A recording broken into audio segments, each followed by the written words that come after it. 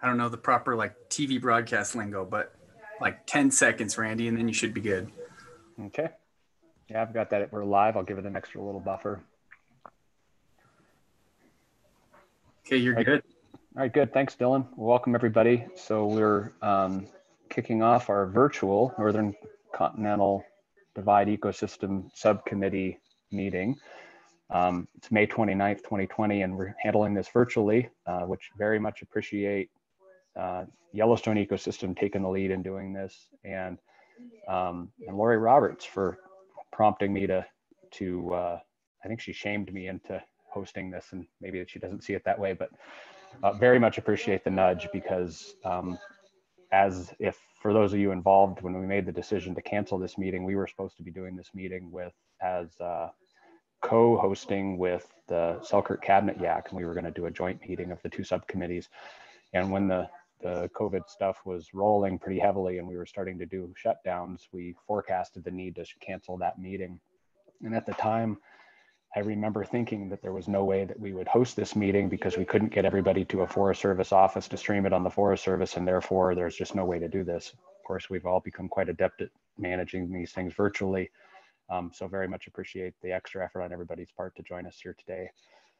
Um, I do want to uh, give just a couple minutes to Dylan, a minute or two, um, if he wants to walk through any procedural stuff as far as participating and using the system and, and any notes to any public who have called in. Um, so Dylan, if you give that just a minute and then I can do introductions. Yeah, thanks, Randy. Uh, my name is Dylan Tabish with Fish, Wildlife, and Parks, um, and I'm the Information Education um, Chair for the NCD Subcommittee. Um, I'll start my video here, sorry. Uh, so yeah, I'm just helping Randy with some of the technological aspects here, and we've got the panelists uh, all involved. So you will all be able to uh, unmute yourself, share your screen, uh, anything you need to do during the meeting, um, and then any members of the public uh, who would like to provide input later this afternoon. Uh, you can look on the agenda approximately around 2:45, maybe a little earlier, 2:30. They'll have an opportunity to chime in and provide input on what we uh, talked about today. And um, so uh, there's instructions on the IGBC website. So if any members of the public out there go to igbconline.org and go to the meetings section, you'll find information on the NCD subcommittee meeting. And there's a telephone number there to call in. Uh, and you just follow the instructions, add the webinar ID and password, and then you'll be admitted to the meeting as an attendee. And um, then we'll ask you to press star nine when you're ready to provide input and we'll unmute you and everybody here will be able to hear you.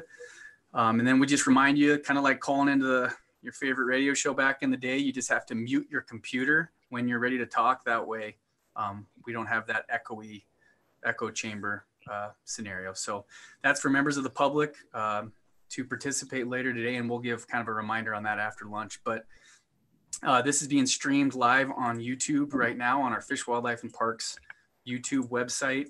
Uh, and that link is on our Facebook page as well as our uh, the IGBC website. And this meeting is also being recorded. So for folks who can't stay for the entire meeting but want to see the presentations, uh, this meeting will entirely be saved and we'll post it on the IGBC website.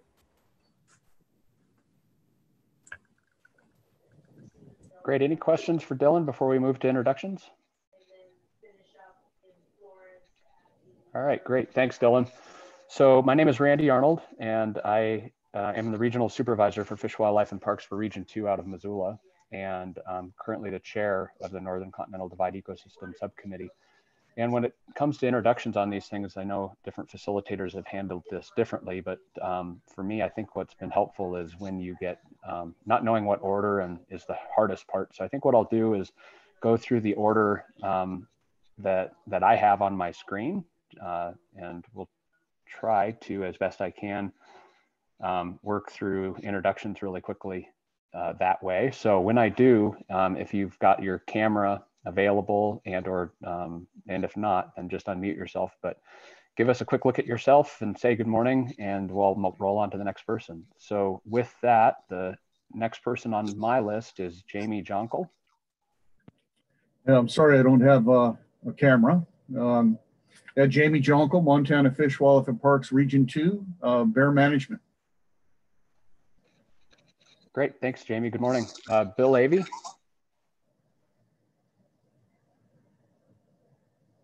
Yeah, good morning, everybody. Bill Avey, Forest Supervisor of the Helena Lewis and Clark National Forest.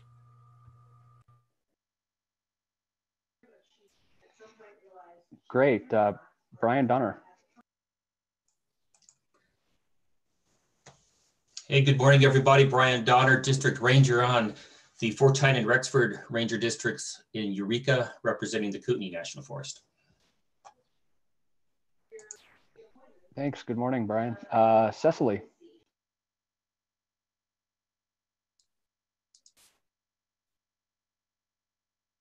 Hello, this is Cecily Costello. I'm a research wildlife biologist with Montana Fish, Wildlife and Parks, and I'm an advisor to the committee.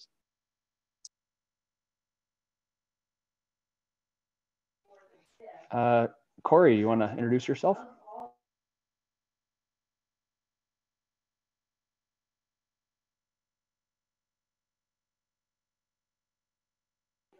So Corey Loecker might not have been ready for that. He's our wildlife manager out of Region 4. I'm going to pass you, Corey. Uh, Gary? Yeah, Gary Bertellotti, Regional Supervisor out of Great Falls, uh, along the Rocky Mountain front, uh, eastern side of the NCD. Thanks, Gary. Uh, George Edwards. George Edwards, Montana Livestock Loss Board out of Helena. Uh, great, thanks, George. Uh, Heather Stokes. Morning, everyone. I'm Heather Stokes with the Center for Natural Resources and Environmental Policy here representing the Grizzly Bear Advisory Council as a facilitator.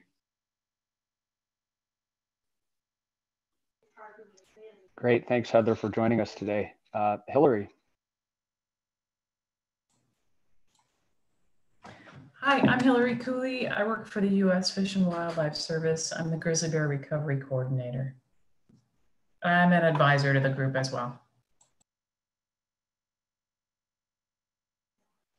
Thanks, Hillary. Uh, Jennifer. Hi, my name is Jennifer Fortin-Noreus. I work with Hillary in the Fish and Wildlife Service Grizzly Bear Recovery Office.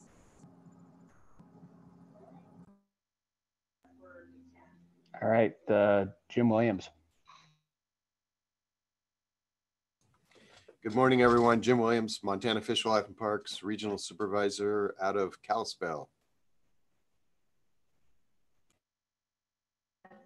Thanks, Jim. Uh, Jody?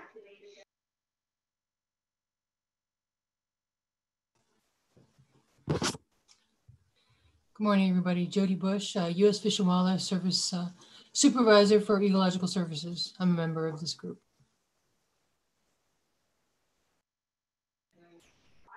Thanks, Jody. Uh, Joe Wiegand. Good morning. Joe Wiegand, Montana Department of Transportation. I'm the Missoula District biologist and cover uh, areas west of the Continental Divide. Thanks, Joe. Uh, John Waller. Good morning. Uh, John Waller, wildlife biologist at Glacier National Park, and uh, sitting in for the moment for Jeff Mow. Thanks, John. Is Jeff going to join us later? Do you know? Uh, my understanding is that he has a had a meeting conflict, but I think his intention is to join us in probably an hour or so. Okay, great. Thanks. Uh, Ken McDonald.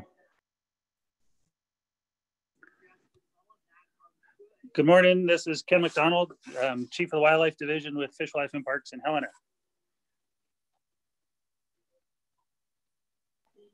Thanks, Ken. Uh, Kurt Steele.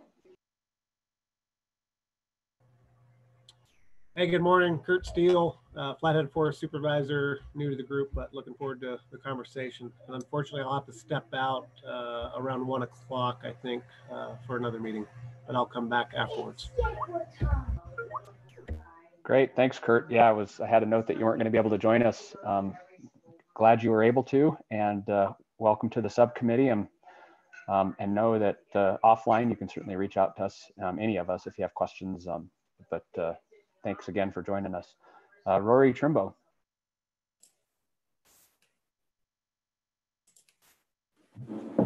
Morning, everybody. Rory Trimbo with uh, FWP, the Grizzly Bear Management, um, based out Deer Lodge, Anaconda, for the uh, focusing on the connectivity zone. Thanks, Rory. Glad you could join us this morning. Uh, Scott Jackson. Hey, morning, Randy. Hi, everybody. Scott Jackson here, uh, Forest Service, National Carnivore Program Lead based in Missoula in the regional office, and I'm an IGBC advisor here. Great, thanks, Scott. Um, Stacy Courville.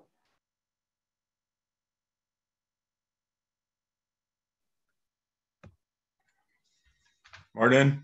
Uh, Stacy Courville, Confederated Salish and Kootenai Tribes Carnivore Management Specialist.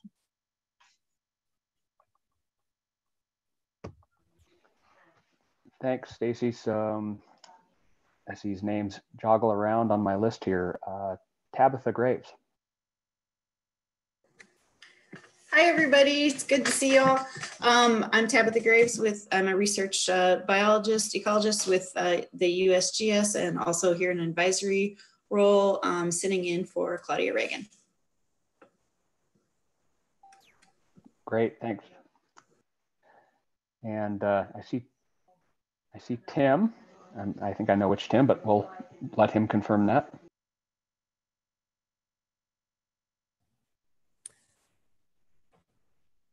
Hi, uh, Tim Manley, Fish, Wildlife and Parks out of Kalispell, Montana, Grizzly Bear Management.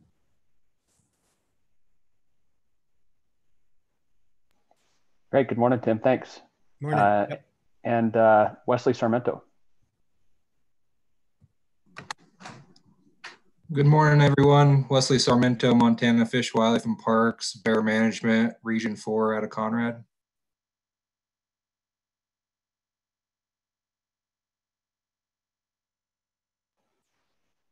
All right, Dylan. So a quick check for you if we're following here. Um, and I guess a quick check for everybody. Um, did anybody pop in here um, while we were doing introductions that I need to go back to? If so, uh, feel free to jump in and introduce yourself. Hopefully there aren't very many, if any. There is one person in the attendees and I don't, they don't have a name associated with them. So I guess if that's somebody who needs to get uh, promoted to the panel, um, if you're listening, uh, contact me via email, dylan.tabish at mt.gov, and I will promote you. Or if you can rename yourself there in the attendees room, that way we'll know who you are. Thanks.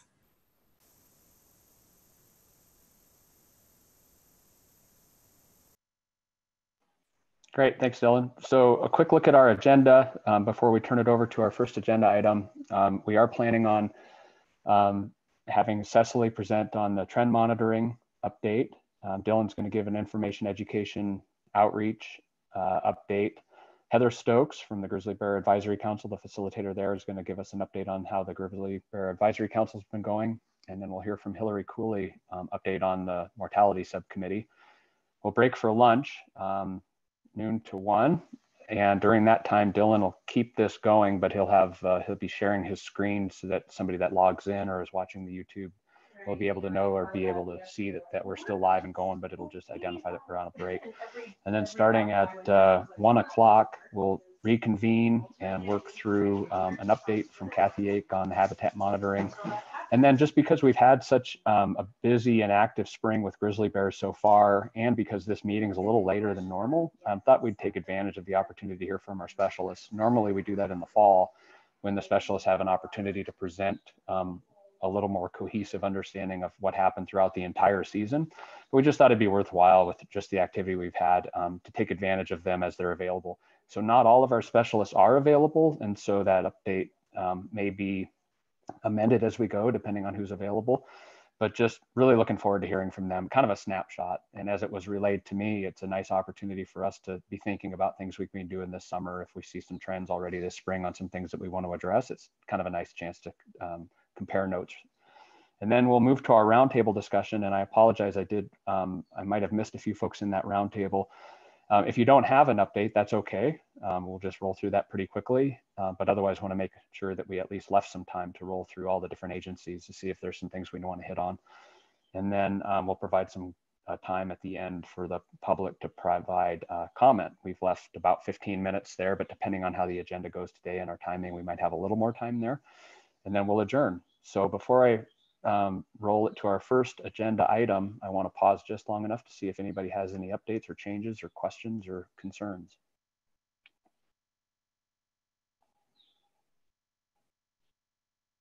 All right, thanks.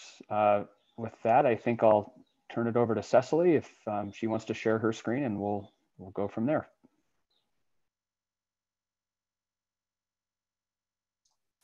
Okay, I'm going to um, get my um, screen started here. So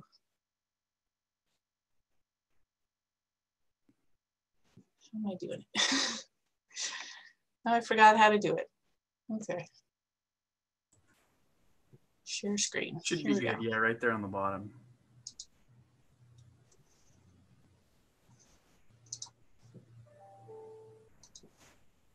Oops. Gotta go back up. Okay, can everyone see that? Not yet. Oh.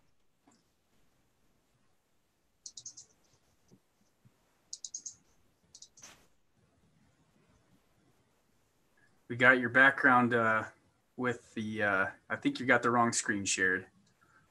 How about that? There we go. Got There we it? go. Good. Okay. Um, so I'm going to give an update on the 2019 field season for the studying grizzly bear demographics in the Northern Continental Divide ecosystem. Um, I would like to acknowledge uh, our partners that work on this project, um, including Fish, Wildlife and Parks, the Blackfeet Nation, the CSKT, National Park Service, Fish and Wildlife Service, and the U.S. Forest Service. Um, I want to let people know that our annual report is available online. So some of this information that I'm giving you is detailed with a little bit more information on that report. And I thought I'd give you a clue as to how to find it on the website. If you go and look at the Fish and Wildlife tab, there's an area where you can get to wildlife research. Then you want to click on the icon for grizzly bears. Under grizzly bear research, you will see the tab for grizzly bear population monitoring, and that will take you to the Northern Continental Divide page. And then down here you have reports. And if you click on that, you'll be able to access our report for this year. Just to orient everybody, this is the area that we're working in, in the Northern Continental Divide. These are the zones as they were um, identified in our conservation strategy. The PCA in blue is the equivalent to the recovery zone, and the area around that is called zone one. And within that red line is the area where we concentrate our um, habit, our, our population monitoring, where we do our trapping for research and trend monitoring. And then those other two zones um, relate to connectivity um, and an area out on the east front beyond where we um, do, do um, trend management or trend monitoring. So first I'm gonna just talk about our field results for the 2019 season, um, describing our captures, our vital rate monitoring, and the monitoring of mortalities. Um, in 2019, we captured a total of 70 bears during 77 different capture occasions. In other words, we had seven recaptures of those 70 individuals. Um, we had 28 bears that were captured for trend monitoring and 12 of those were collared, primarily females. Our trend monitoring program is um, specializes in looking at females because they're the reproductive segment of the population and we try to get reproductive data as well as survival data from those females. Um, all around, we had 40 bears that were captured for management purposes and 19 of those were collared. So when we're looking at independent bear survival within the DMA, um, we monitored 73 bears with telemetry, 50 females and 23 males. Um, we observed the deaths of eight radio marked um, bears during 2019. Three of these were females and five were males. Um, none of those were in the research sample. So we had zero mortalities for research this year, this past year.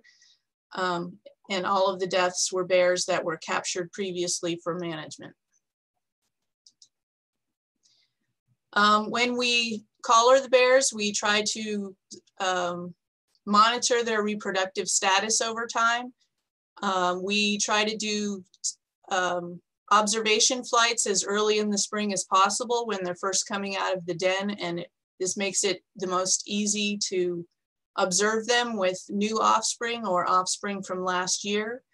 Um, and then, but we also monitor or we also document reproductive status of bears as they're captured over the year as well. So in 2019, we recorded reproductive status for 28 adult females. These are um, both from the research and the management sample. We had nine with cubs, eight with yearlings, three with two-year-old offspring, and seven with no offspring. Um, the first observation for these ranged from the 14th of March, so getting an observation of a bear just coming out of the den, and the latest was October 7th when we captured a new female. Um, the average date for the observation of reproductive status was June 4th. Um, I thought it might be helpful just to show the second graph which is these same raw counts, but looking at them over time.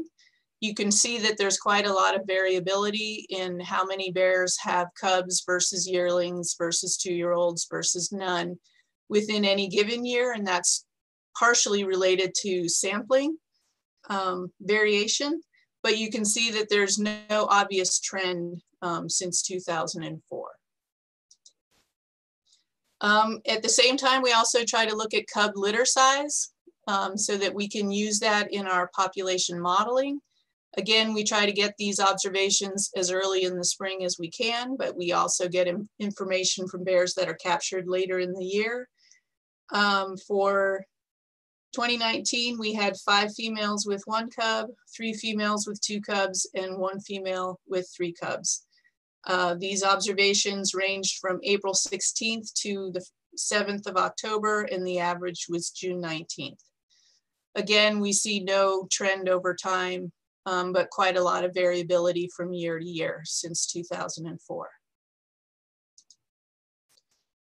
Um, for dependent young sur mon survival monitoring, we follow um, litters of females that are radio marked. And we just assume that when they disappear from the side of their mother that they have died. Um, and in 2019, we were able to monitor the survival of nine cub litters with multiple observations over the course of the year. That included 14 cubs. Within those 14 cubs, we observed four presumed or known cub mortalities. We were able to monitor survival of eight yearlings within 15 or eight litters with 15 total yearlings. Um, and within that sample, we observed two known yearling mortalities. Um, these numbers are actually a little bit different than what is in the annual report because I wrote the annual report before we got some of our new observations for this spring. So we were able to document a few more litters um, after bears emerged from dens this spring. So we also document all known and probable mortalities throughout the ecosystem. This table here describes um, all of the all of the mortalities, including all age classes and all locations. Um, we documented 51 mortalities overall, 46 were inside the DMA and five were outside the DMA.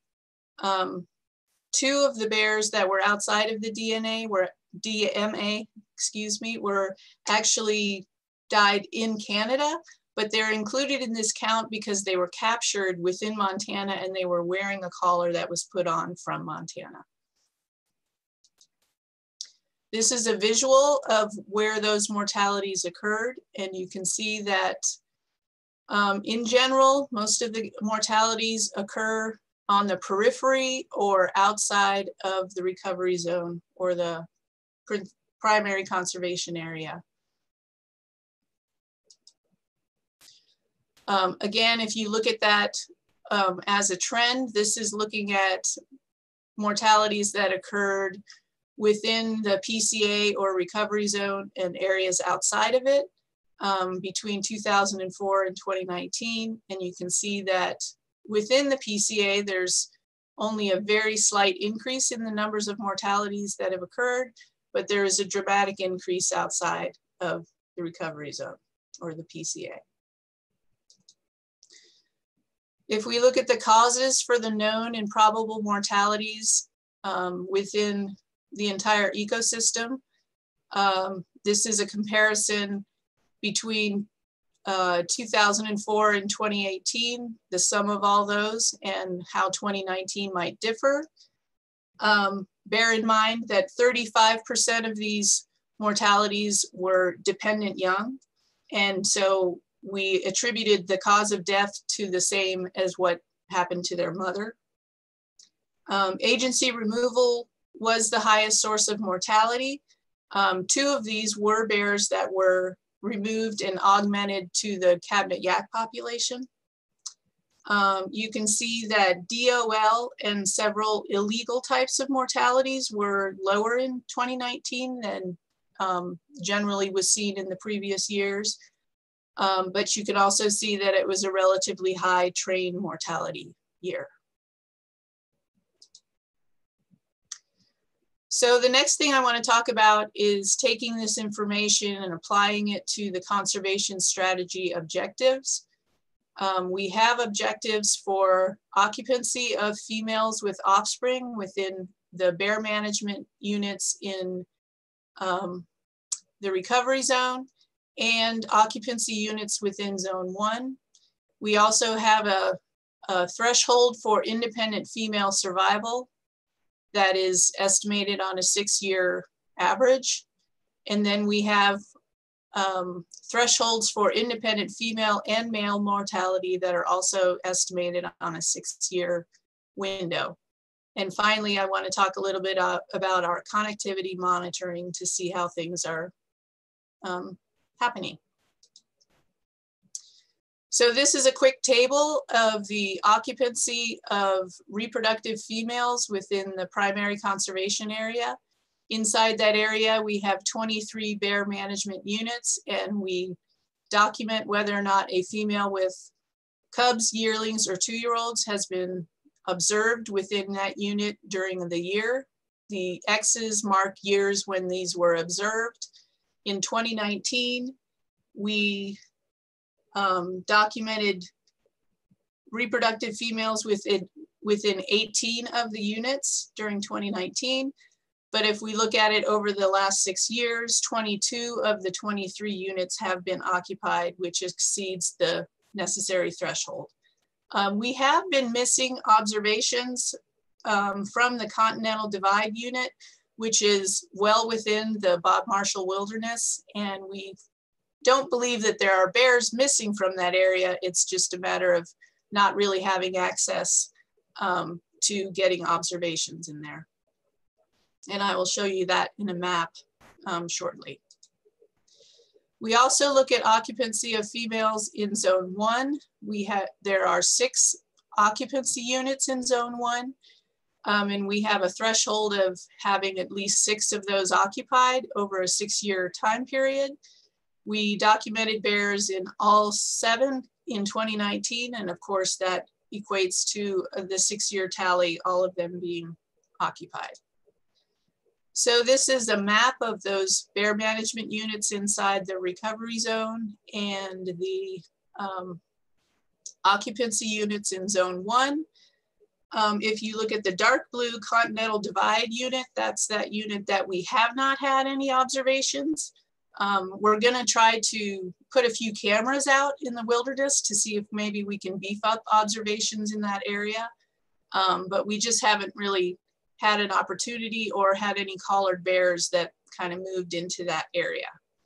Um, the lighter blue units have been occupied in the last six years, but were not verified um, specifically in 2019. So the next conservation strategy objective is to maintain a threshold of 93% um, for annual survival of independent aged females. This is what we, and this is based on a six year average. These are the values that we've observed during the last, since 2013. And in um, 2019, our six-year average of female survival was 0.94, so above the threshold. Um, and then the next conservation strategy objectives are for um, total reported and unreported mortalities of independent female and male bears within the DMA. And um, this table indicates how we estimate that. What we do is we take our um, documented mortalities, our reported mortalities, and then we um, inflate those a bit to estimate how many of those were not reported. So as you can see, the numbers within the box um, represent the documented mortalities, which were, which included 11 females, 15 males, and three unknown sex. For the three unknown sex, we randomly assigned them to a sex, which ended up being one female and two males. And altogether, that's 29 documented mortalities of independent bears within the DMA. With our, mortal with our inflation factor, that goes up to a total of 42, or um, 16 females and 26 males. We take those um, estimated mortality numbers, total mortality numbers, and we look at them on a six-year average as well. And then we compare those to our threshold. In the, for the females, the threshold um, has been 22, and this year it kind of went up to 23. Uh, the male threshold is 28, and it went up to 29, but you can see that our six-year average is below these thresholds. So again, we met the conservation strategy objectives for independent mortality numbers. And then finally, we, um, in the conservation strategy, we um, committed to looking for connectivity. We do a analysis of distribution um, biennially so we last did that last year in 2018, and so we will repeat it again in 2020. So we're, we don't have anything new to present specifically on bear distribution. Um, and through DNA analysis, we try to detect whether or not there have been bears that have immigrated into the population from one of the other ecosystems. Um, and we have samples that have been analyzed through 2018 and we, again, still have not detected any immigration into the NCDE from other ecosystems. But I thought I might share this map, which shows uh, the distributions of the populations, the Cabinet Yaak, the NCDE, and the Yellowstone population um, as of 2018 and the little darker marks are other verified observations that have occurred. The lighter marks are possible observations that weren't verified, but potentially could be a grizzly bear. And as you can see, um, we are starting to see quite a number of bears moving in the areas between the Northern Continental Divide and Yellowstone. So we are hopeful that there will be some movements between these ecosystems. And the potential for it is certainly increasing over time. And then finally, I want to just discuss a little bit some of the other research that we've been working on and um, give you a little heads up on some things that we're hoping we'll be able to present to the subcommittee very soon. Um, we have been working with Paul Lukacs and Josh Nowak from the University of Montana to develop an integrated population model. We're also working with the study team in Yellowstone um, so that we can have a model that's somewhat similar. And we're hoping once we have this integrated model that a lot of these vital rates that we're reporting on, we can have more timely um, estimates, maybe even annual estimates that we can share. So um, I'm really looking forward to having that done. I'm hoping that by the fall or at the very least by next spring, we should have some information from that model that we can share. Um, I also wanted to mention that we have been working with Libby and Alex Metcalf from the University of Montana on a human attitude survey. This is a statewide study. It's not just related to the Northern Continental Divide, um, but we sent surveys to over 5,000 households and we received over 1,700 responses. Um, and we are in the process of analyzing those responses and the results should be available within the next few months. Um, and I'm really excited to see what we can get out of that.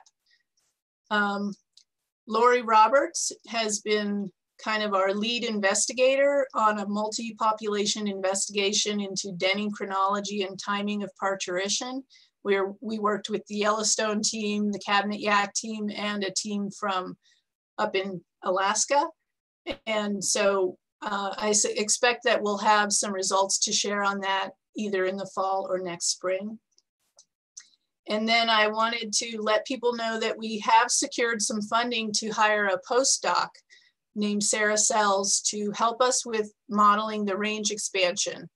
Um, her primary focus will be likely be on modeling specifically the Northern Continental Divide ecosystem, but we are collaborating with the other ecosystems to provide a comprehensive look of range expansion over time um, from all of the ecosystems.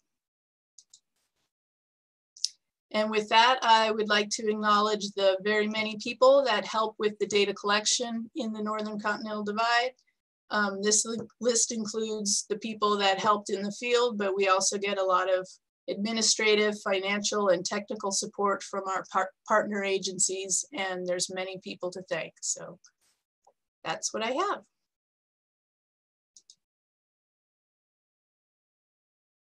I can answer any questions if people have them.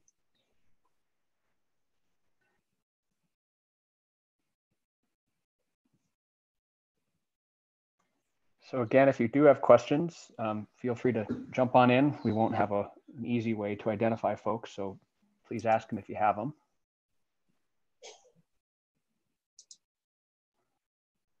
Quick question, Cecily. I, you mentioned um, some additional distribution stuff with Sarah Sells, and I know she's done a lot with um, wolves and maybe even um, other big game um, species using patch occupancy. Is that something similar, or will she? Will this be a new approach? Well, I think it's probably going to be a little more akin to what we did with our previous connectivity study where we looked at male, uh, the potential paths for male movement between the Northern Continental Divide and Yellowstone and back and forth. Um, it's going to be building on that model. Um, so it's a movement model primarily, um, but we want to include information about females and we're going to try to include information about how animals use a home range so that we can determine areas where bears could settle as opposed to areas where bears might just move through. Great, so thanks. A, yeah, look forward to that. Yeah, sorry, Kurt, go ahead. No worries. Hey, so just a question when you're showing the map, it just seemed a little misleading on the Continental Divide. Um, obviously, if we haven't surveyed that, to show it as unoccupied seems like it should almost have another label, if you will, as not surveyed or something like that. It just seemed to well, me Well, it's being misleading. Um, we don't really call it unoccupied. It's just not documented as occupied. So, um, yeah.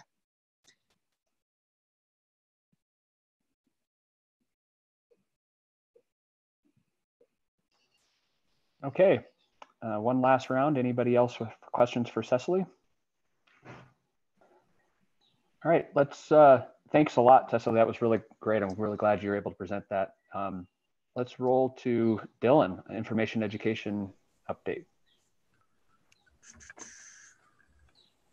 All right, thanks, Randy. Um, juggling a few things here. Let's see if I can do this. Sorry, Dylan, I'm going to cut you off. I there was two other, um, one other thing I wanted to catch. Uh, we had a couple of people join us, and so sorry to put them on the spot, but I wanted to recognize it, those folks who joined us and see if they could introduce themselves really quickly. So um, I'll start with Amy Jacobs. Maybe if you could unmute yourself and un and maybe if you have video capability, just say hi really quick, Amy. Maybe while you're fumbling for your mute button, we'll see if Lori Roberts is able to say, give us a wave.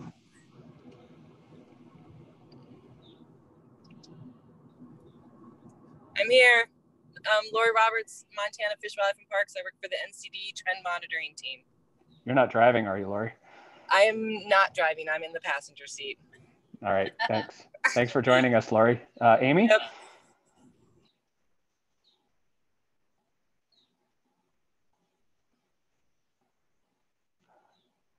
And Amy, your, for us, your screen went live, but I'm not able to hear you. Oh, there you are. I can see you, but I still can't hear you.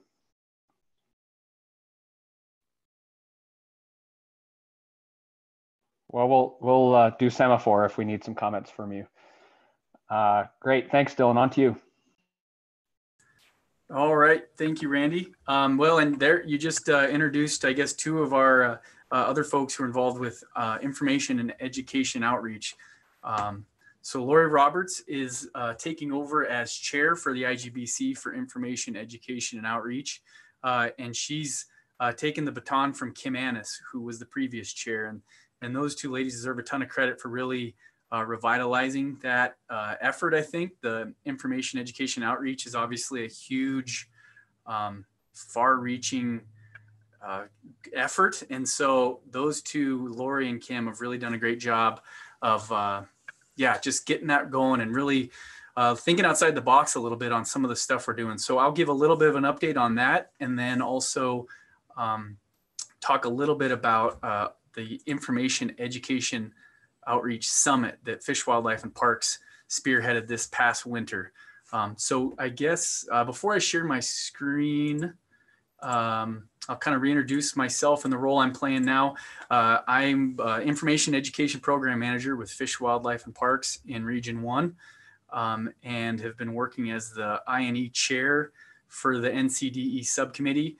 Um, although I'll be the first to admit, I have done probably the least amount of work as uh, compared to particularly uh, my fellow subcommittee uh, folks who are Lynn Johnson, uh, from the Kootenai National Forest, Whisper Means from Confederated Salish and Kootenai Tribes, Amy Jacobs from Flathead National Forest, and Kathy Bushnell from Helena Lewis and Clark National Forest. And those are the folks uh, who are on our NCDE Information Education and Outreach Subcommittee. Um, and so um, when I took over that role uh, a couple years ago, you know, it was, it's such a big, um, effort to try to wrap your arms around and, and tackle. And so the goal we really set out for was to try to find issues that um, are kind of prevalent across uh, national forest, what our bear specialists are dealing with with fish, wildlife, and parks, uh, what you know is just kind of a consistent issue um, across all agencies' um, efforts and lands. And so um, we've made some progress on that. I, you know, hopefully we're going to make more progress this year with it, and that's where the sub uh, or this uh, summit really helped because sometimes with this stuff, it's just hard to even identify what are some action items that we can tackle because you know information, education, outreach is such a high level um, thing. It's hard to find out what's something on the ground that's going to make a difference. And like we've said before, it's the folks in the field on the ground that really do make the most difference. I think. Um, uh, we, we print a ton of brochures and we've backed off that a little bit just because we've found that, you know, in this day and age, printed brochures maybe aren't always going to be the most effective or cost effective uh, way to promote education or information. We're, we're not completely eliminating those, but we've really taken a hard look at uh, what are we all saying in these brochures and where are they still effective and where can we maybe find some new strategies. And that's what led us to really identify the website, uh, the IGBC website as a, as a tool that we can hopefully improve upon. And um, Kate Smith with U.S. Fish and Wildlife Service has really uh, taken the lead on that and helped me go through the IGBC website and update that um, and find ways to make it a simple, easy to use website with educational resources. There's obviously the bear resistant products section, which is uh, viewed a few thousand times each month. It gets a lot of traffic, and that's obviously a very important resource um, that Patti Sowka runs uh, through uh, Wildlife Management Institute. Um, but you know, a credit to our uh, the subcommittee members, especially Amy. You know, she's really uh, reminded me again and again that we need to take a really focused effort on consistency in messaging and what are these um, what are these common issues across the ecosystem. So hopefully we'll we'll really kind of fine tune focus on that. Um, and it looks like we have Jeff Mow joining, so I'm going to promote him real quick. Um, so I'll share my screen real quick and show you uh, um, some information on the Information Education Summit. Um, and let's see if I can do that now. Okay. So did that come up all right for everybody? Can you kind of see my, my page? Yeah, we can see that, Dylan. Okay. Although it's So not instead of in, read- uh, doesn't appear to be in a full screen, but maybe that's what you're intending. There we go. There we go. Um, so to totally uh, just use the hard work of Danielle Euler here, she was really involved in that summit that we put on this summer. Uh, Danielle Euler, who's the INE chair for the Yellowstone, Greater Yellowstone ecosystem, um, her and Sarah Silty really deserve a ton of credit for organizing this summit uh, that happened, there you go, in January. Um, and in a relatively short amount of time, they threw it together and it was in Helena. And we had a ton of uh, folks, I think over a hundred um, attendees from across Montana came to Helena for this uh, information education outreach summit. Um, and you can kind of see right there, I mean, the goal was really to try to get everybody we could in one room uh, who were involved in grizzly bear conservation and recovery, and then education, safety, um, outreach, um, and just to try to get people in the same room because there, as we found out really quickly, there's a ton of efforts going on across Montana. Um, and so sometimes though, like me not reinventing this great presentation that Danielle did, we're kind of all doing our own things and why repeat efforts when there's really good work that's already being done. And so trying to just connect those dots was, I think, the primary goal of that um, summit. And it, I think it really worked out well. So um, we had, uh, you know, NGOs, agencies, tribes, uh, private companies. We, you know, come to this summit and participate and listen. And we had great panel discussions. Um, and it was just super helpful, as well as uh, members of the Governor's Grizzly Bear Advisory Council, which um, I don't want to steal Heather's thunder. Um, she'll be speaking next about that uh, council, but it's uh, I've been helping with that and just to to learn a ton from that process and get those uh, folks on the council kind of um, filled in on all the work that's being done. So, um, you know, it's kind of the first night trade show. Um, everybody had tables they set up, and that's where we really quickly learned how many brochures are being printed every year, and that maybe that's not necessarily uh, necessary to keep printing more and more of them. Um, but uh, good panel discussions. Um, different themes were kind of identified, uh, particularly, you know, where is there a lot of work being done, and where are there areas that there isn't work being done that we maybe need to really focus on, and um, and that led to for example, you know, even in our area, you know, in the Eureka area, maybe we need to devote a little more uh, attention and resources to um, areas that are maybe becoming more uh, bear aware needed. And uh, so trying to find where should we put more resources.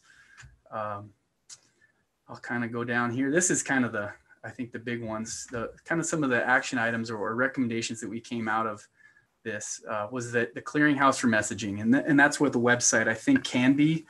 Um, so we've worked on kind of a project proposal for the IGBC website um, and taken some of the stuff we learned at this summit and, and put it into um, a project proposal. We're going to go out.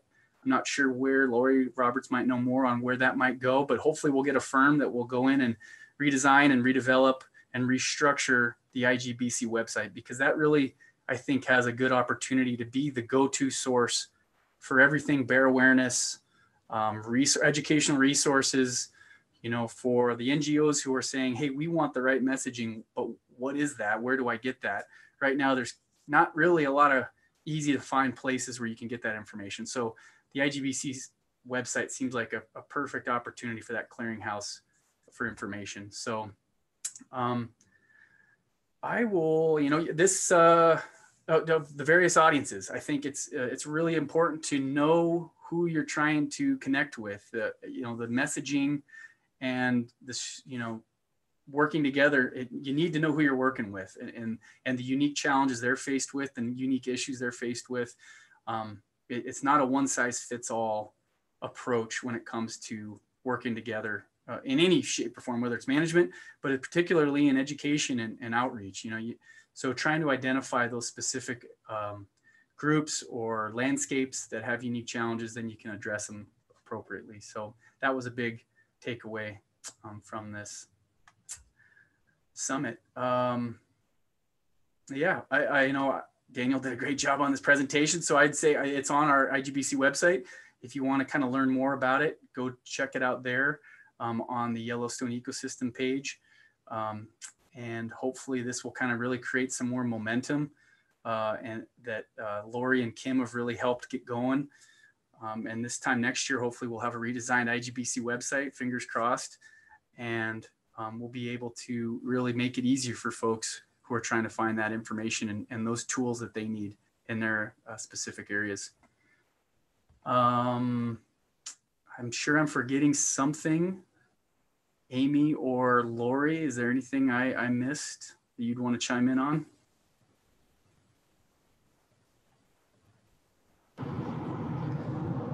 No, I think you did a good job, Dylan.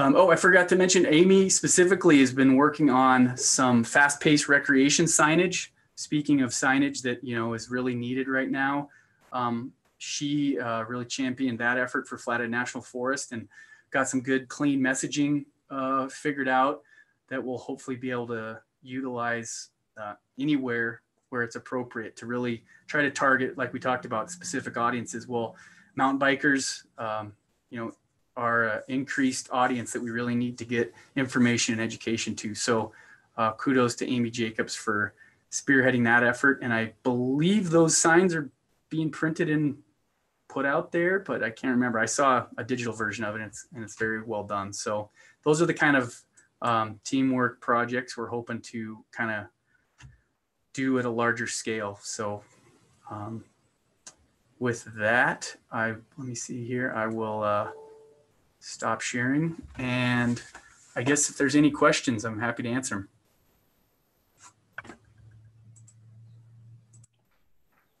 Great, thanks, Dylan. I want to, I guess um, I'll avoid too much comment, but I do want to uh, identify a parallel, which I thought was interesting, which was we held um, boy, now it might be a year and a half ago, maybe a little longer, we also um, in Helena held a transportation summit. And at that transportation summit, um, there were some really interesting common things that came from that. One is just the, the, the way that the agencies and NGOs and other partners joined at that summit together. Um, it, it wasn't um, as you've identified in maybe some of your objectives out of that summit, it wasn't that the agencies were coming up with messaging and, and delivering that back to the public or the audiences as much as including the audiences, but also the, the, the NGO and the, the benefit of having um, everybody together in the room at once coming up with that stuff, which I thought was, was really, really cool in our transportation summit. And I see that same energy identified here. The other was um, the uh, momentum building um, in pulling everybody together in the same place. And the Transportation Summit did that as well. Somehow getting all those people in one place does um, help build a lot of momentum around some common ideas. And then coming up with those priority outreach goals. Um, just it's hard at times with with with the diffuse nature in the way that the information and education is being handled in so many places there is no easy way to get all that in one place and understand what the priorities are um, but these summits really help serve that purpose well. So just hats off to you and the and the conveners of that summit. They pulled that off in a miraculously short amount of time and the attendance was um, indicative of the interest of the topic. So just really really proud of you guys and really glad that you did that. Um, if any other comments on the education outreach? Randy, I would mention anyone out there who has uh, staff that would be good uh, to have on our information education outreach committee, please send them my way. I, would love for that to be as all encompassing as we can and just to make sure that we are um, cued into the different agency um, um, perspectives. And so uh, please let, if you have anybody you want to nominate, we're always looking to recruit new members. Great, thanks, Dylan. I want to take a couple seconds here just to recognize a couple folks who have joined us. Um, and in doing so, for those of you joining us, I'll, I'll uh, call on you just to unmute. And if you've got video, um, allow us to see you for a minute, proof of life. Um, Jeff, do you want to introduce yourself really quick? Sure, Jeff Mow here, Superintendent, Glacier National Park. And uh, yep, just uh, sorry I'm late, uh, but just trying to figure out how to reopen the park. Yeah, you've, uh, like many of us, have full-time jobs, so very much appreciate you joining us. Thanks, Jeff. And we also, I think we see um, Whisper Means joined us, if she wants to say hello. Hello, I'm here. Sorry, I was watching on the other link, and so I figured I better come in here and be part of the group. Well, thank you for joining us. Very much appreciate that. All right, with that, I think I'll turn to uh, Heather Stokes. Morning, everyone. Thanks again for inviting me to share an update on the Governor's Grizzly Bear Advisory Council um, my name is Heather Stokes, and I'm co facilitator of the council with my colleague Sean Johnson. And we are with the Center for Natural Resources and Environmental Policy, which is housed at the University of Montana. And just, I know a number of you are, are quite intimately involved with the council's work, but for those of you that um, either haven't heard an update since I last shared it in December or haven't heard anything at all, just sort of provide a, a brief overview of the council. And they are 18 Montana citizens representing a diverse geography throughout Montana, as well as experiences and interests around um, grizzly bear conservation and management. They were appointed by the governor's office back in late August and started meeting pretty much on a monthly basis since last October. However, in the last couple of months, um, despite COVID 19, they've been meeting much more frequently, both as a large council via Zoom and in their working groups via Zoom and teleconference. So, despite um, their disappointment of not getting to see each other in person, they're quite grateful for having had the opportunity to meet in person at the beginning to really help develop their relationships and the technology that's been available has really helped progress their work over these last few months. The purpose of the council when it was originally formed is to develop recommendations for guidance and direction on key issues and challenges related to conservation and management of grizzly bears in Montana, particularly those issues where there's significant social disagreement. The details of their charge can be found in their executive order from the governor's office, which is on the FWP website. If you Google Governor's Grizzly Bear Advisory Council Montana, it'll take you straight to the page.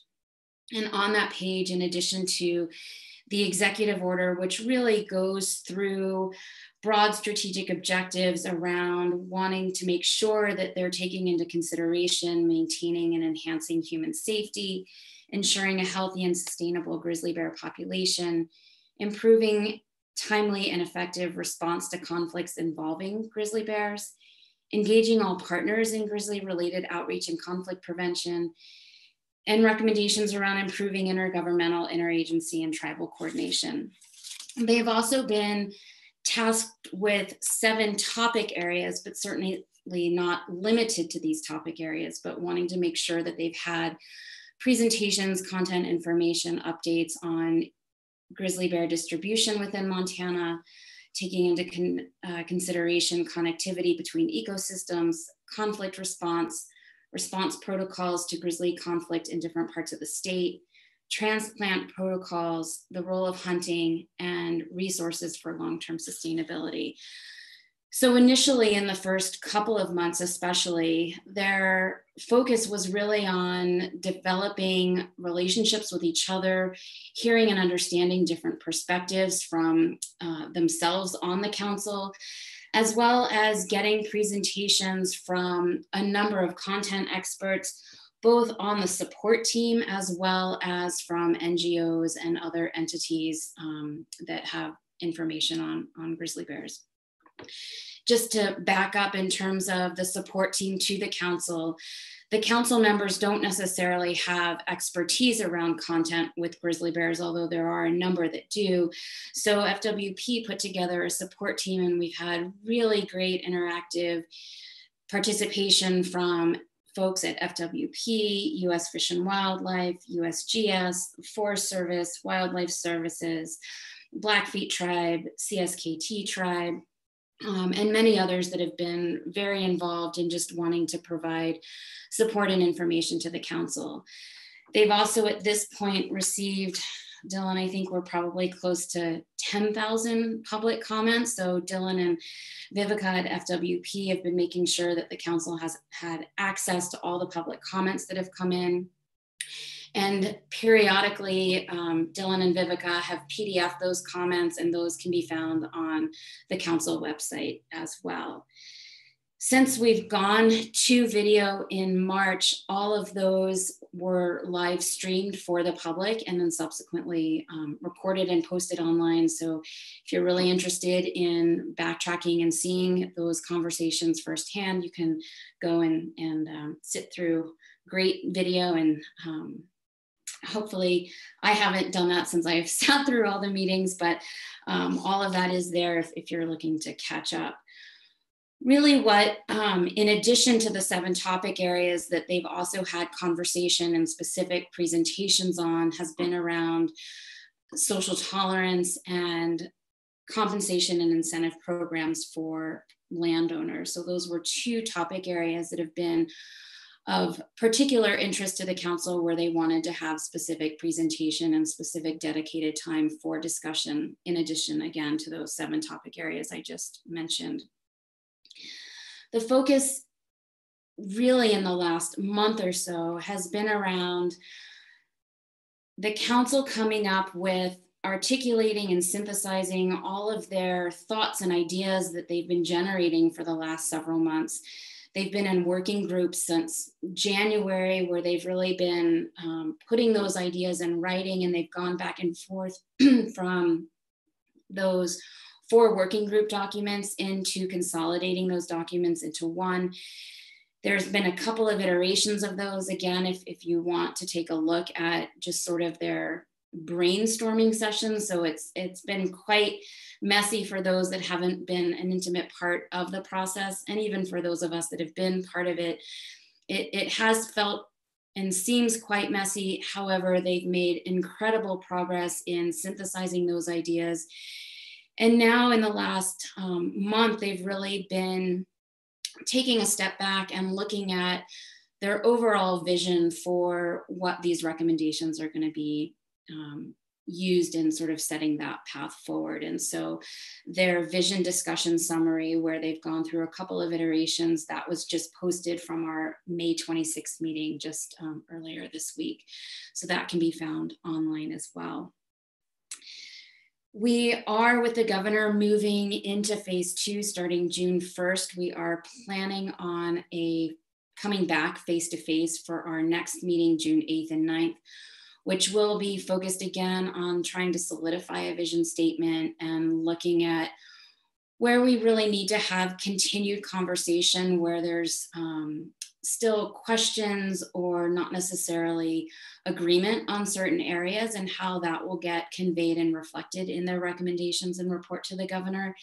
And also really looking at where have they identified consensus and common ground and how to put that together with context for the recommendations report. So we really are looking at meeting the timeline of having a final draft report to the governor's office in august.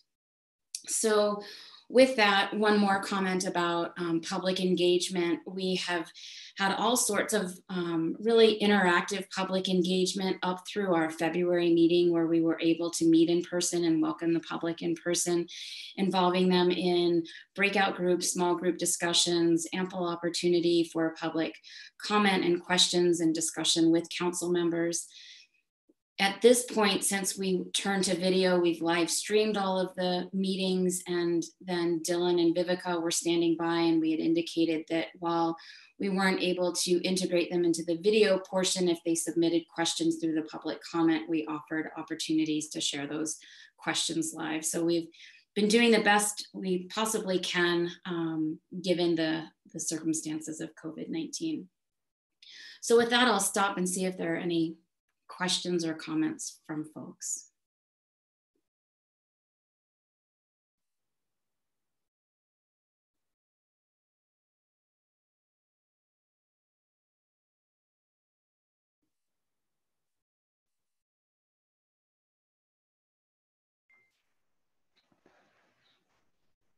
All right. Um, pausing just long enough to see if anybody's got some thoughts for Heather on the Grizzly Bear Advisory Council. Well, thank you so much for joining us, Heather. Really appreciate it. Um, the update's helpful for sure. I know I had a lot of questions from um, from folks coming to in Reading and we're preparing for this meeting about where the, the governor's advisory council was. Um, and I know that it's been daunting through this uh, COVID times, um, but uh, working regularly with Dylan and Vivica have had a front row seat to the work that's been going in behind the scenes to make sure these things keep happening. And hats off to you guys. That was, it's been a huge effort to keep everybody engaged and so, so happy that the council members themselves have been so interested in staying as engaged as they have been and giving this a lot of time and energy. So um, huge amount of work and look forward to your next meetings as well as some of that um, summative stuff that you'll have by August, it sounds like. Thanks, Randy. Pretty impressed with the council and the work that they've done. They're quite a committed group, so I'm um, quite honored to work with them. And and hopefully you guys will take a look at their work on the website and feel free to reach out if you've got any questions. Thanks. Yeah, thanks for that additional reminder that that's available for folks to take a look at um, and follow that bouncing ball as those pieces come together and provide some input as as you have it. So great, thank you very much, Heather. Thanks, Randy. So with that, I see following our agenda, um, we'll move to Hillary Cooley.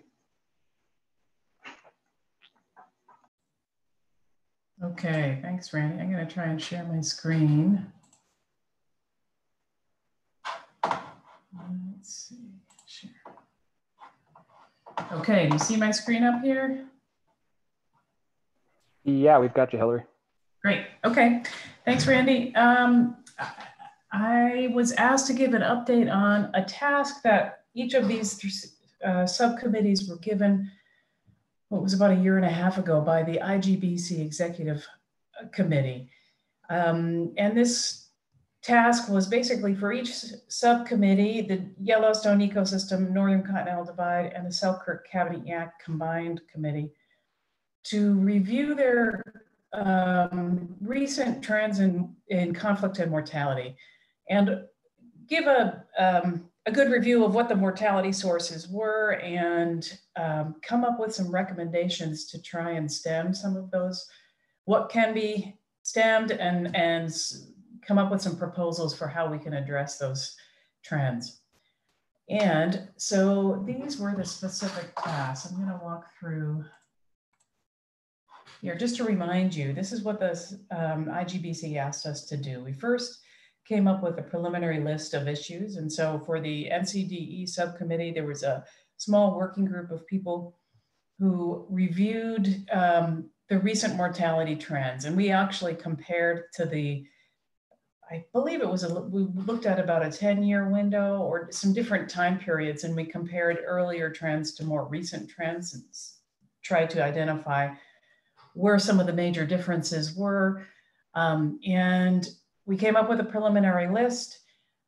In December at the IGBC meeting, we produced a report with uh, kind of finalizing the list of issues and coming up with a, some preliminary recommendations to address those issues.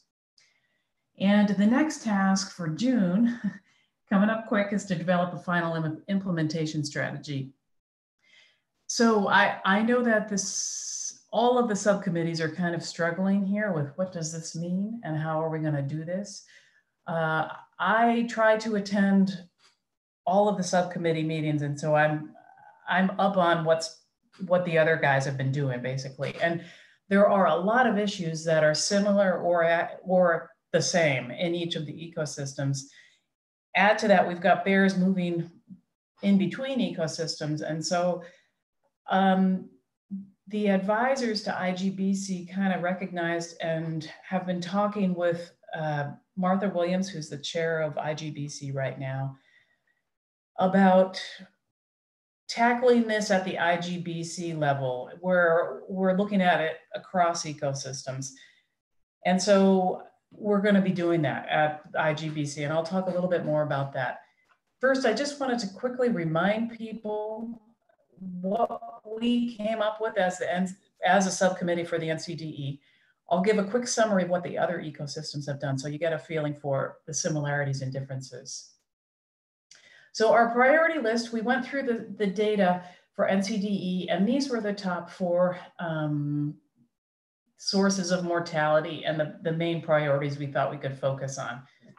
You know, there are other mortalities, for instance, livestock related, that we definitely noticed is, you know, right up there in terms of mortalities. You saw that in Cecily's report, management removals. Um, but we really wanted to tackle the ones that were uh, responsible for high levels of mortality, but were also something that we felt we could really address. So we came up with some of those recommendations targeted at each one of those. I won't go through every one of these. I just kind of summarized. There's a lot of information education programs targeting it specifically at different groups, some mitigation work related to railroad collisions and vehicle collisions. And then we have an awful lot of site related conflict um, small livestock, waste management. And so we have some uh, ideas in the report related to that as well. Our group also came up with some overarching recommendations.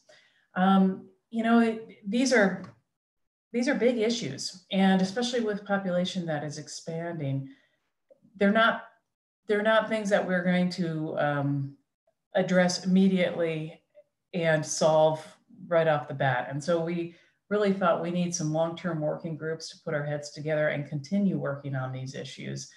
And, you know, making sure we're responsible uh, to, to continuing to work on these things.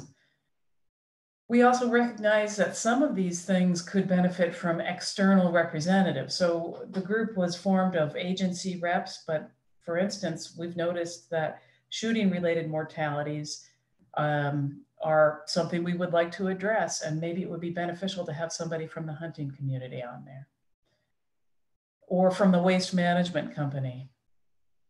Um, and then we identified, I mentioned this earlier, but we need to coordinate among ecosystems where we have similarities and overlap. So for the Yellowstone ecosystem, they came up with five priority issues. Each of these three ecosystems came at things a little bit differently. So you'll notice that. Um, but they kind of bend into these five categories, backcountry rec and hunting related, then front country conflicts and community planning. They really felt like information and education is going on um, all over the place, but it, it's we don't know what's effective and what's not. We're we're putting a lot of money and effort towards it, but we don't really know how effective it is. Livestock conflicts and producer outreach, and then targeted community outreach in those expansion areas. And so they came up with these issues. Um, then at their fall meeting in Cody, they had, they put on a public workshop and it was really well attended. They did a, a very nice job of organizing this. David Diamond organized and facilitated this probably maybe, I want to say 100 attendees from the community came and had brainstorming sessions. Basically, we had each one of these issues was on a piece of paper and you go and sit at that table if you're most interested in the livestock conflicts producers that were attending would probably go to that table and brainstorm on ways to reduce conflicts and mortality related to each one of those. It was um, it was a really big success, and so we came out with um, a whole bunch of ideas and thoughts, and some were out there, and some were um, really helpful. And so right now they're trying to figure out how to take that and move it in, you know, how, how do we put that into play? What do we do with that now? So uh, here, again, I won't go through each one of these. I just kind of listed out some of the things that they came up with um, to, to reduce mortalities and conflict in each one of these uh, areas. So, you know, information education, waste management, um, uh, signage, a lot of a lot of a lot of similarities between the NCDE and the GYE. And then the Selkirk Cabinet Yaak, uh, you know, many fewer bears here, and they don't have a whole lot of conflicts yet, but they do have a few, and they have mortality that's going on. And so these are their top causes of human caused mortality, mistaken ID, defense of life, poaching, and train and automobile collisions. And they came up with some recommendations um, targeted at reducing those mortalities. So all of those are issues in our in the NCDE actually. So um, this summer, we're going to have the IGBC meeting. If for those who don't know yet, it will be virtual. Um, there is a full day meeting on June 24th.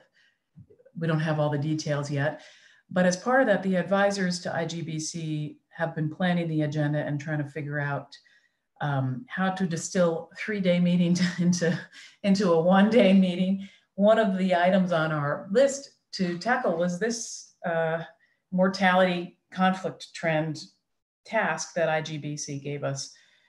Um, and I think what we're going to do, although we're still working out the details, I think we're going to have a second IGBC meeting on July 24th, just so that we have a good amount of time to dedicate to this.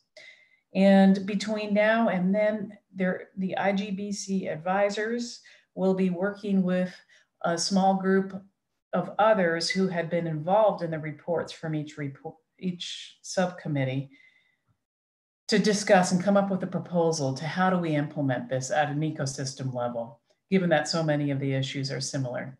And so we are trying to schedule that meeting right now, and um, you will find out more if you tune in to IGBC this summer.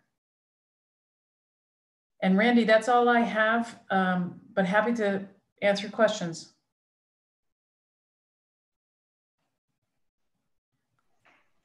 Great, thanks, um, Hillary. That really helpful and helpful for me as well, um, given that I've got um, some responsibilities and as the chair and sharing some of those um, outcomes of the of the mortality subcommittee, and also as I'm plugging into the scheduled stuff that David Diamond's pulling together this summer. It was nice for me to get that summary of what the expectations are, and very much appreciate um, the recognition that there's a lot of similarity um, between the subcommittees. And I, I, think I'm really looking forward to those next meetings. I think that's going to really help. So I'll, um, I'll look to see if we've got questions from members, subcommittee members.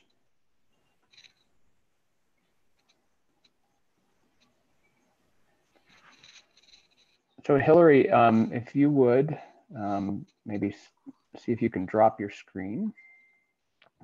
Thank you. So I'm looking at our agenda and I need some input from from you guys who are participating here as panelists. So we do have, um, just for your awareness, we have about uh, 40 minutes um, before we were going to take a break for lunch, according to our agenda. Um, Kathy Ake was scheduled to go on at one, but we don't have her plugged in yet. Um, I know we have some of our bear specialists on, but what I'm balancing right now is that we have approximately 30 people following us on YouTube. And I know that our posted agenda had topics starting at one o'clock. And uh, so I'm balancing the fairness to those, both our presenters who may not be available until after lunch, as well as our public who expected to be able to join in and see those agenda items at certain times. If this were a meeting um, at a hotel or a convention location like we've traditionally done, then generally I feel pretty comfortable moving the agenda because we kind of have a captive audience for the day usually. But given that we're uh, virtual and people can plug in and leave as they would like uh, and try to follow the agenda, I feel um, a little reluctant to shift the agenda too much. So what I'm proposing is that um, unless I hear some other suggestions, which I'm certainly open to, um, that we actually break early and just give folks a, an extended lunch break, get some other business done, and then reconvene at one. But want to hear from others how you're feeling about that, if it's worth trying to bring, um, move the agenda and bring some items up front. So Bill?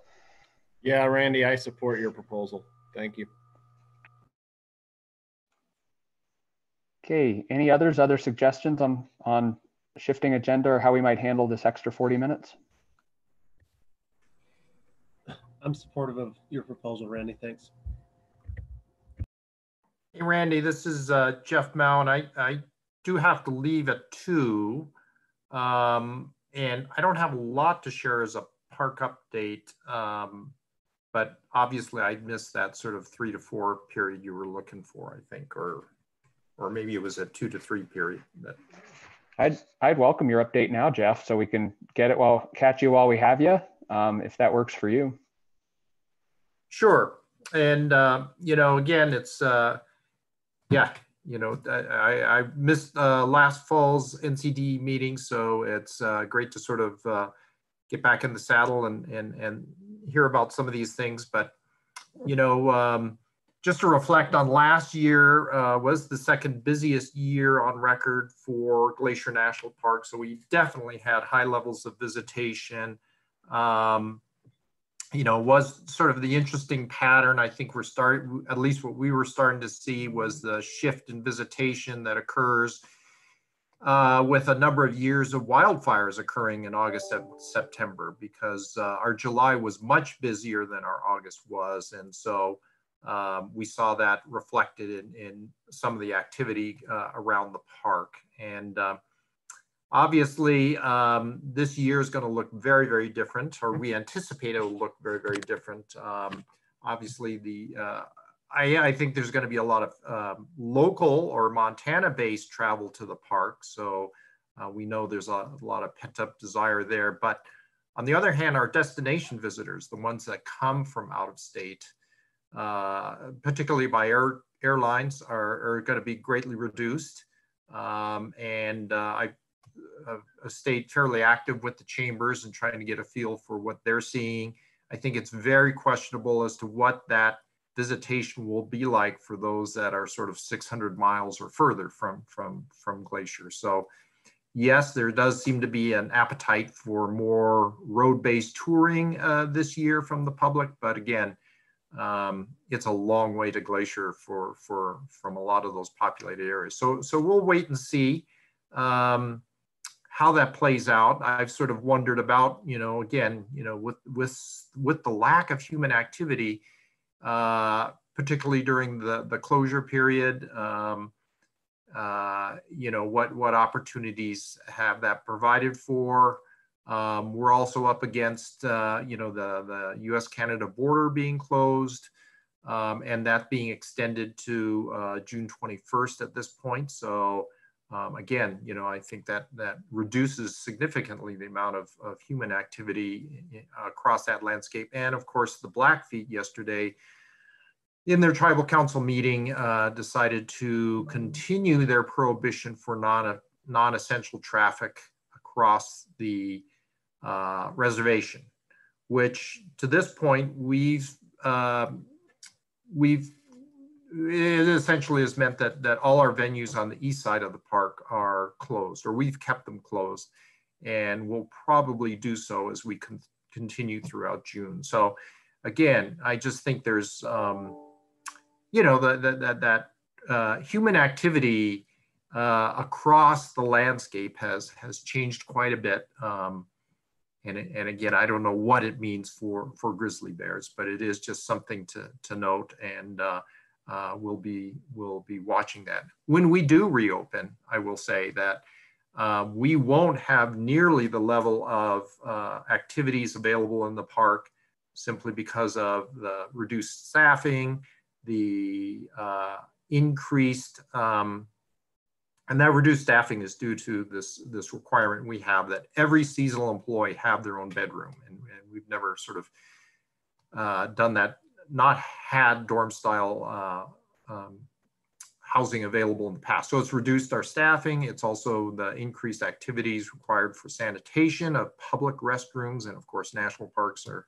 full of public uh, facilities. So um, we're gonna have our hands full just trying to keep the Going to the Sun Road open, uh, providing uh, trails and then providing um, uh, a handful of visitor centers, and, and we're only going to open two campgrounds, at least to start. We may be able to add a third as the summer goes on. So again, camping as a human activity will be greatly reduced uh, in Glacier National Park this year, which means, you know, we often talk about how you squeeze the balloon and it bubbles out somewhere else again, you know, how does this sort of uh, relate as, as with visitation and reduced opportunity in the park? You know, will we drive people out uh, to, to, the outlying areas or will, you know, we just won't see as much activity. So I, I think it'll be a very interesting dynamic moving forward. You know, certainly Kurt and Jim Williams may have some sense of, of how this year's activity compares to last year, but my sense is it's up quite a bit but again, there's a lot of that sort of pent up energy. Um, we watch Yellowstone quite a bit. I was just on the phone with Cam Sholly uh, earlier today, and and you know the Yellowstone with their Wyoming entrances first opening up uh, started with a lot of uh, there was there, there was that sort of initial activity which was pretty busy, but since then it's calmed down quite a bit, and and they're only seeing and of course with only Wyoming entrances open, 19% or 20% of of what they would normally see at this time in terms of visitation. So we'll see how that switches over um, come um, June 1.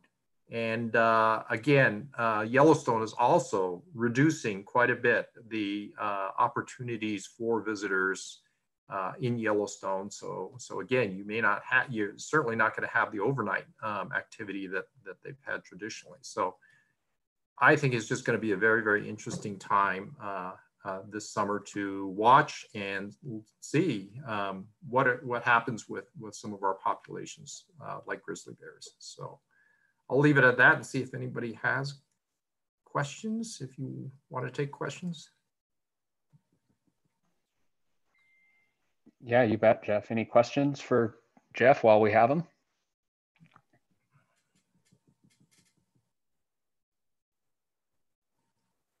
I mean, I will say that, uh, you know, it's been, um, I was just, my comments were very focused on sort of thinking about it from uh, the habitat and, and wildlife perspective. I'll just tell you on the human perspective, um, you know, I, as the National Park Service, we're just into some things we, we've, we've uh, never been before, talking about doing surveillance testing of asymptomatic individuals in the parks, uh, again, because the parks are going to be such a focus for out-of-state visitors, um, that this working with the state, the tribes, and, and the county health, um, we're going to be um, testing a lot of uh, our staff uh, and other staff that have a lot of uh, contact with, with uh, outside visitors. And it'll be very, very interesting to, to see um, what what's going on and, and understanding the movement of, of COVID-19 uh, as related, you know, for Montana and, and, and the rest of the country. So.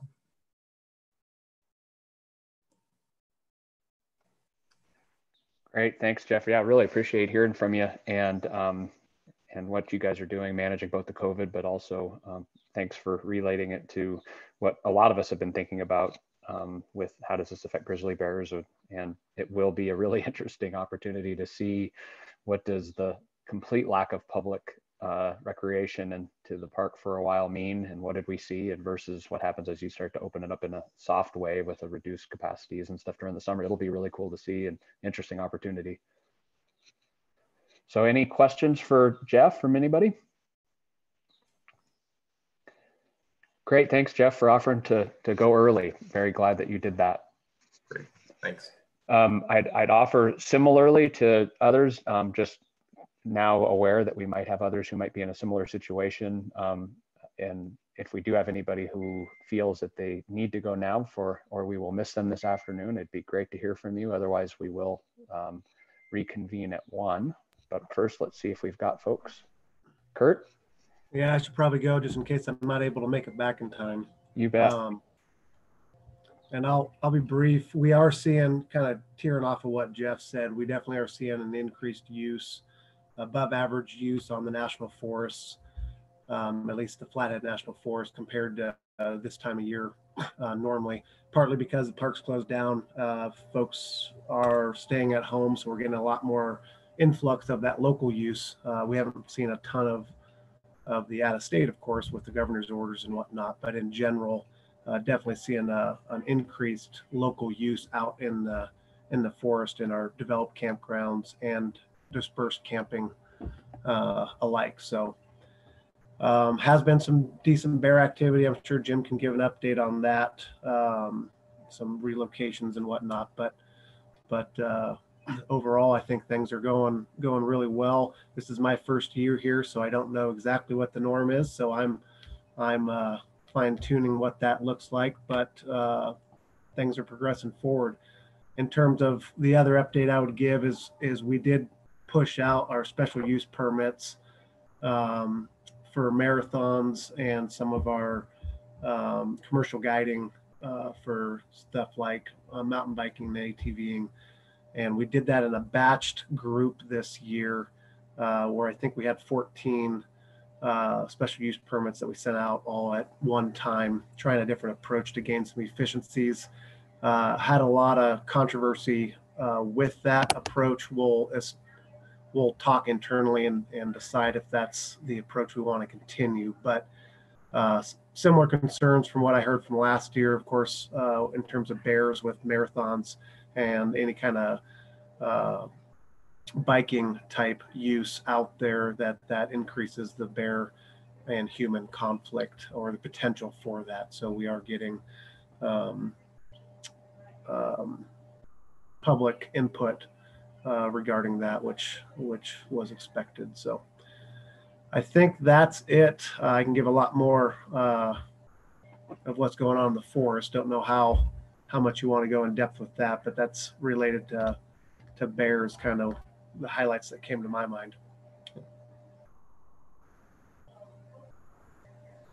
Great, thanks, Kurt. Thanks for your flexibility for jumping in now. Any questions for Kurt? and maybe Bill, if there's something that we normally share as the as an agency, if you're still on, you could cue me in to to share something that maybe I missed. Bill Avey.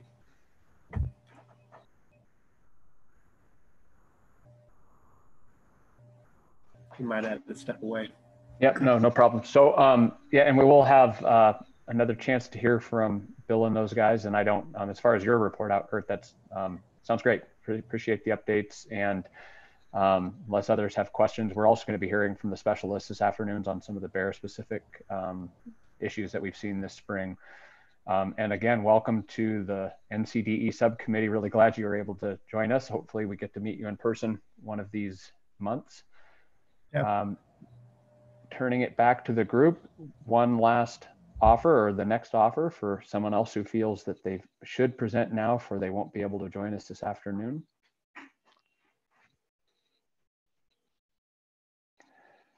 Okay, so with that, um, what I'm proposing is that we um, we break for what now is about an hour and a half lunch.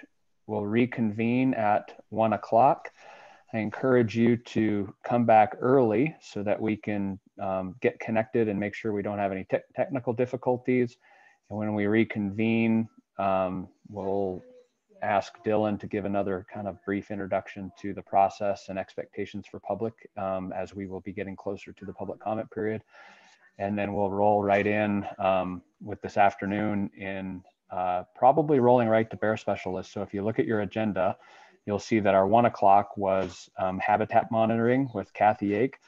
Um, Kathy's not available as I understand it now. So um, at that time slot, I am going to give it a little bit of an update um, to where I believe we landed, but know that Kathy can um, loop back to each of you um, regarding the reporting requirements for that, the habitat. So um, with that, I'm going to pause one last time to see if anybody has any information for the good of the group before we break for lunch and before we see you back at a little before one o'clock. Randy, did you mean we're going to resume? Yeah, what did I say something about canceling the meeting or? no, just that play on words, resume. Oh, yes, resume. Thanks, Jeff.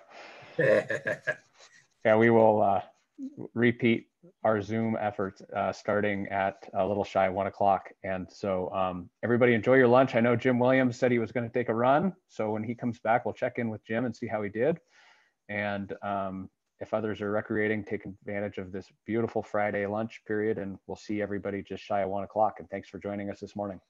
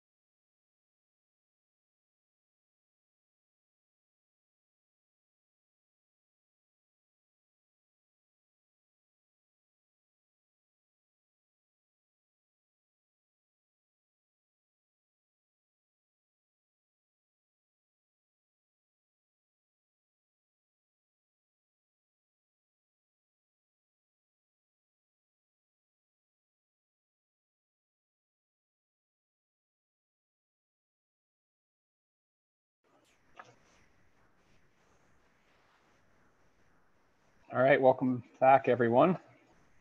Give folks a few minutes to reacquaint themselves with their screens, including myself. All right, so we're streaming live again. It's uh, now one o'clock, and I just want to welcome everybody back um, after lunch. So again, my name is Randy Arnold, and I am the regional supervisor for Montana Fish, Wildlife, and Parks in Missoula, and the chair of the Northern Continental Divide Ecosystem Subcommittee. And um, according to our agenda, um, we will be this afternoon uh, revisiting some work that Kathy Ake was doing on habitat monitoring. And Kathy's not able to join us, but I do have an update from her that I can share. And then we'll turn it over to our bear specialists, um, those who are available to give a kind of a spring capture of what's going on with activities of grizzly bears this spring. And then we'll turn it to uh, roundtable discussion for those who have some updates from their different um, tribes and agencies. And then um, at the end, provide an opportunity for public comment. So as a reminder, we are streaming live on YouTube, the public comment period towards the end. Uh, we will look to those who want to provide comment um, to call in and um, Dillon can explain that process when we get to that step. And um, Dillon, I'm going to turn it to you for just a second to see if you have any technical updates before we get rolling.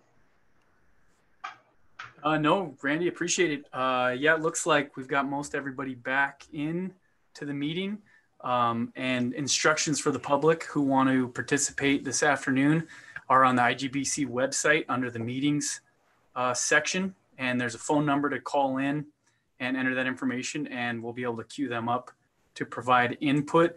Um, I did, uh, you know, just as an update on this morning's, you know, loaded Cecily's presentation uh, onto the IGBC website. I will uh, do a quick share screen to show you where for folks who want to know how to find it. Um, if you go to the IGBC website um, and you go over here to the Northern Continental Divide ecosystem, uh, Kate and I have been trying to go through and get all the updated reports from each of the ecosystems loaded onto the websites. Um, so please, if anyone out there has new reports you'd like to add, send them my way and we'll get them loaded. So each of these ecosystem subcommittee pages have the membership list um, and then meeting summaries and then uh, kind of pertinent reports. So here's the conservation strategy, for example, for the Northern Continental Divide ecosystem. Uh, I did make some uh, grammatical edits quite a bit, uh, thanks to some keen editorial eyes from uh, Kathy Ake particularly. And so those edits have been made to the conservation strategy and then a summary of those edits, what changes I made are in this document right here that's a summary of editorial changes. And so anytime there's a uh, correction or clarification that needs to be made to the conservation strategy, um, I'll make that edit and then I will summarize it in this document. Um, but then management research reports are all right here. Um, this is certainly an incomplete list, but we're trying to collect as many as we can and have them here. You can see some recent years of Tim Manley's uh, annual grizzly bear management reports. I got Wesley Sarmento's Region 4 report from 2019 and still trying to collect all those. And this would be a great place to put that. And Cecily's report from this morning is right here, the trend monitoring program. So anybody who wants to go back and review uh, the great stuff that Cecily presented, that is right here. So um, again, any website uh, additions or edits, please let me know. Thanks. And I will stop sharing. Great, thanks, Dillon. Um, so we did have, and I think it, let me first check before I dive into this, down this uh, path. Um, Kurt Steele, are you still with us? I see your name there. Just checking to see if you'd be able to answer a question that came up um, during lunch break. Yep. Thanks, Kurt. So, so, the question that was asked, um, and just wanted to handle it while you were here, was in response to the 14 um, special permit applications and that you had pushed those out at once. And the question was, what does that mean? And will they occur later this year? So maybe some uh-huh. clarification uh, on that. Yeah, unfortunately, I don't have them in front of me. Um, the special use permits are anything from outfitter and guides to um, uh, special use permits for for marathons. Uh, some of them are not going to occur because some of them were scheduled to occur in July, and uh, with the governor's reopening um, of being in phase two, uh, 50 people, uh, we can't accommodate that. So they had to maintain um, compliance with local and state regulations. Um, but we wanted to at least go through our process so that depending on where the governor was at, we would be able to issue the permit if we were in a place to do that uh, with a COVID environment. So some are moving forward, uh, some are not. Uh, you'd have to contact the individual specialist on on which ones uh, are moving forward. But the scoping period did close for those, um, and and got quite a few comments uh, from the whole spectrum on those. So don't have the list in front of me. I can pull it up. It wouldn't take me that long to do that, but um, they're pretty minor special uses, but can create some controversy, obviously with bears and whatnot when you're adding that public interface there, which is why I brought it up.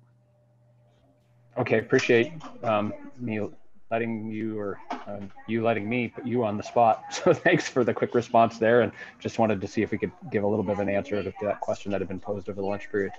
So just wanted, uh, before I turn to our agenda, uh, just a quick pause to see if anybody in the group had any uh, business for, as for the group as a whole before we roll into these agenda items. Just don't want to miss anything there.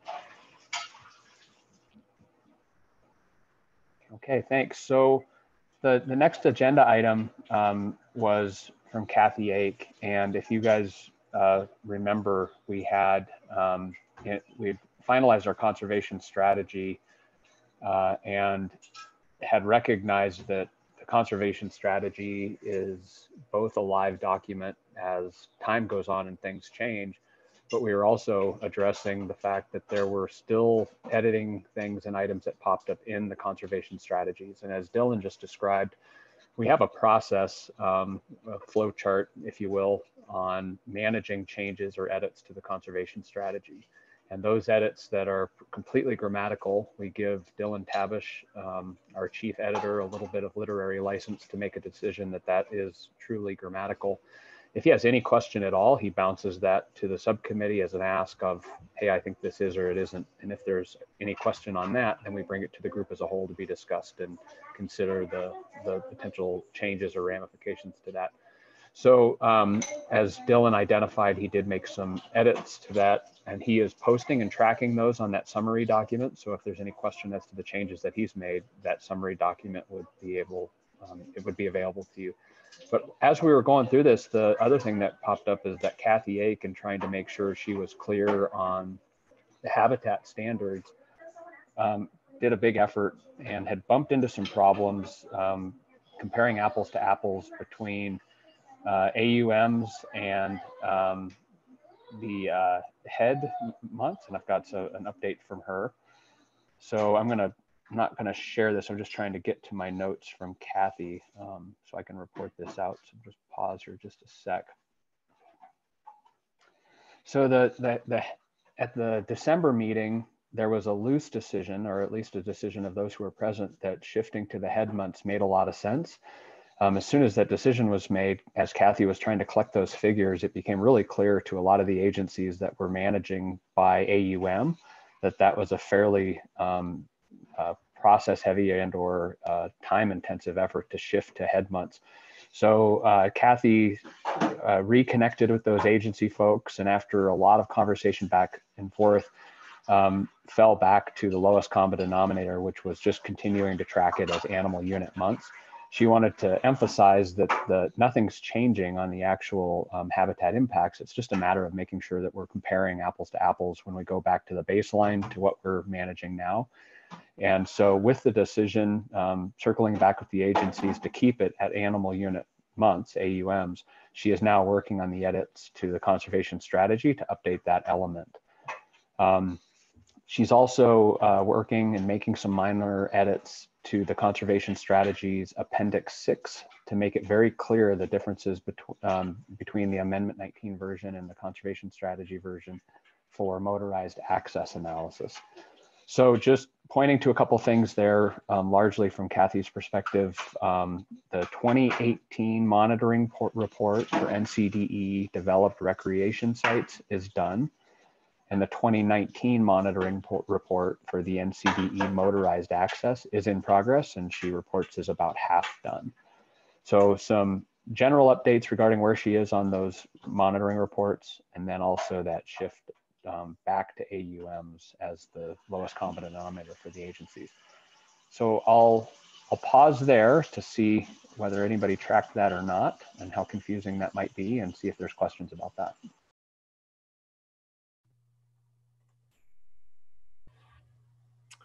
Hey, thanks, Randy. Appreciate Kathy's work on that. My only um, comment, and, it, and it's a concern, but not a very large concern, is just ensuring that that Kathy is tying back into Sean Heinert uh, of our regional office staff and Scott Jackson, since you're on that on that call, if you could work just to facilitate that, just so we have a good definition, since today the Forest Service uses head months where we used to use AUMs. Um, there's a clear crosswalk between those those two values in the document, so people can can see that it's a different measure, but it's it's it's it's a different measure, um, but it's really not changing capacities.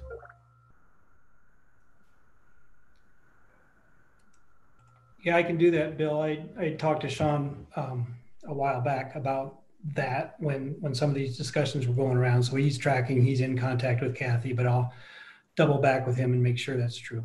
Okay, awesome. Thank you very much. You bet.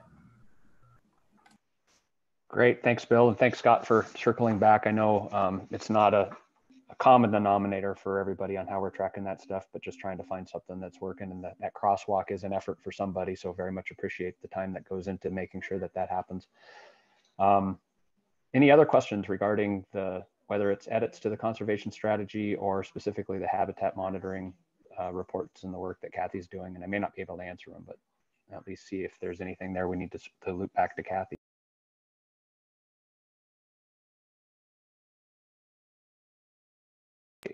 Okay, seeing none. Um, what um, I think we'll do is shift to the bear specialist updates. And I, I want to thank um, Lori Roberts for helping me out behind the scenes there. I, I could have done some of this legwork to reach out to each of the specialists, but Lori offered and and um, very much appreciated that effort to get her get connected to the specialists. This is a very difficult time of year for them to be sitting on a meeting and providing this update. So also want to um, thank the specialists for carving out some time to join us as they are available and if they are available.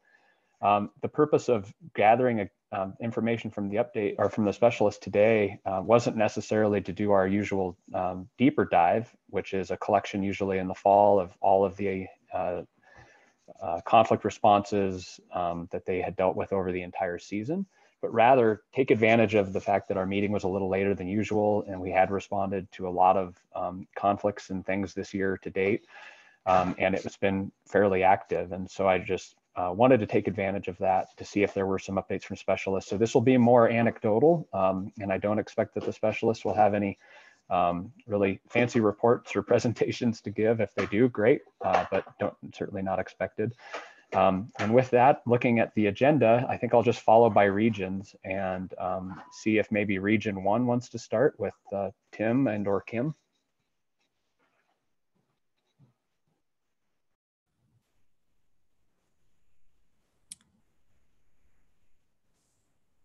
See if my video quits scrolling.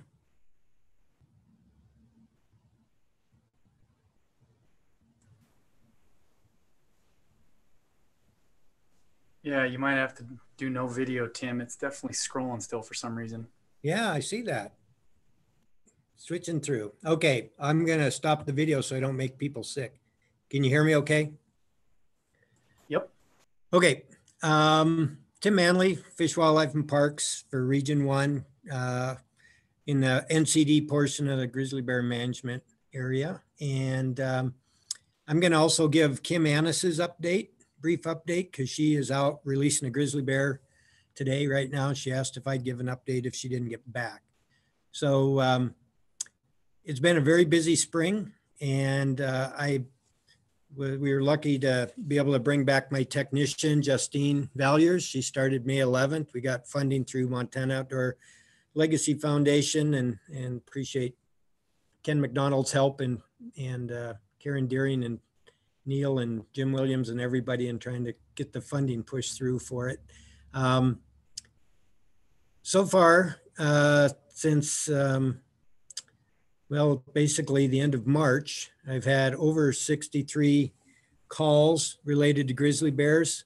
Of those 63, most of them were just reports of people seeing bears. We've had a lot of bears in the valley this spring so far. Out of the 63 uh, calls, 25 of them were recorded as conflicts of some type. And those conflicts uh, occurred in uh, Columbia Falls, Ferndale, Creston, Woods Bay, Swan Lake, Whitefish, Holland Lake campground areas. Um, I did set traps for some of these bears. We ended up, we so far to date, we've caught uh, eight different grizzly bears in my area. Uh, the first ones was a family group, female with three yearlings caught in the Columbia Falls area. And That was on April 24th.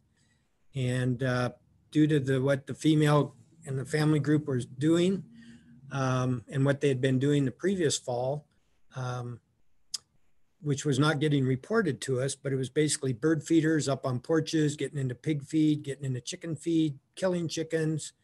Uh, we ended up uh, starting off putting up electric fence to try to dissuade her from getting access to barns and chicken coops. Uh, but she was very persistent. We finally ended up capturing her and all three of her female yearlings. Decision was made to kill the adult female, which we did and that hide is going to be used either by Glacier Park or uh, the Glacier Institute for educational purposes. I went to a taxidermist for that. Uh, one of her yearlings was injured when the trap door came down, when the mother was caught, and it looks like it broke a bone on the foot of one of the female yearlings. We took her to the vet clinic, had it x-rayed, and the decision based on the x-ray was made to, uh, to euthanize her, which we did. And um, the other two female yearlings were in good shape. And I did not have the money for radio collars at the time to put on those two yearlings, but we did release them after microchipping them. Uh, Glacier National Park allowed us to release them at Logging Creek in the North Fork of the Flathead. And we've gotten, um, we've heard a couple of reports of people seeing them, uh, park personnel inside the park uh, since then, but uh, no conflicts or anything. And then uh, May 7th and 8th, uh, prior to that, we were getting numerous reports of three subadult grizzly bears in the Ferndale, uh, Swan Lake, Woods Bay area. These are the same three subadults that we're seeing last year in that same general area, but also we're down at um, Yellow Bay and along Flathead Lake, and they were down at Finley Point. Stacy Courville uh, got reports of them down there. Um, they were not captured last year, and uh, they re- must have denned together. They came out together, and I started getting reports of them along Swan Lake, uh, in yards, feeding on grass, just telling people make them leave.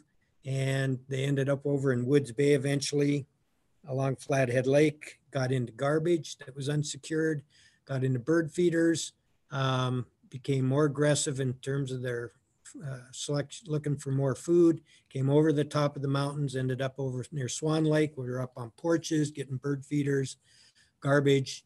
We ended up capturing all three of them. They were all three years old, one male, two females. And we took um, the male and released him up near Moose City in the North Fork of the Flathead. And we kept the two females together and we released them in the North Fork of the Flathead at Whale Creek uh, in coordination with the Forest Service, Rob Davies. And um, all three of those bears basically went west over the top of the Whitefish Range and ended up in the Fort Tyne Trego area. And Kim Annis is now covering Lincoln County, so she's covering the Fort Tyne Trego Stryker area uh, area that I used to cover. We still coordinate, but she's covering it now. So she ended up uh, having to deal with this young male that came over the top. And she actually captured him and the because he was getting in the garbage, back of trucks, into garages. And that bear was killed uh, a week ago or so. And then um, uh, the two female grizzlies um, have been around houses. They got into some bird, feeder, bird feeders around Dickey Lake and Trego area. And um, then they moved south to Stryker, and right now they're south to Stryker on the in the Salish range. So we're monitoring them with GPS collars and hopefully they'll stay out of trouble. But so far they have been visiting a few places where people have bird feeders up. And like I said, I'll give a little more report of what Kim's been dealing with. So um, then also yesterday, um, on the 27th, uh, we set a trap for a subadult grizzly bear in Ferndale that had found some garbage that uh, somebody left out. We don't know whose garbage it was, but it ended up on somebody else's property and she got into some dog food there. Uh, game warden uh, went out, tried to chase her away. She wouldn't leave. She would leave, but she came right back um, and right in amongst a bunch of houses. So Justine and I set a trap and we caught her in five hours. We worked her up yesterday and uh, she was a two-year-old female, 106 pounds, no previous capture we put a GPS collar on her and coordinated with Rob Davies and Hilary Cooley and released her along the east side of Flathead or east side of uh, Hungry Horse Reservoir down at Deep Creek yesterday. Um, I also had three traps out for a family group in Ferndale, female with two yearlings, and uh, my technician Justine pulled those traps today. Those bears did not come back. So that's a quick overview of what I've been dealing with since the end of March. And um, I'm going to go ahead and give you Kim's quick summary. And then if anybody has any questions, I'd be more than happy to answer them. We have been putting up critter getters, noisemakers. We've been putting up electric fencing, preventative type stuff. But uh, like I said, we've gotten a lot of calls. Oh, I'll mention Holland Lake Campground. Um, we had a looked like a big adult grizzly, probably a male that tipped over a dumpster at the campground. Um, they had five bear resistant containers there. Three of them were newer ones.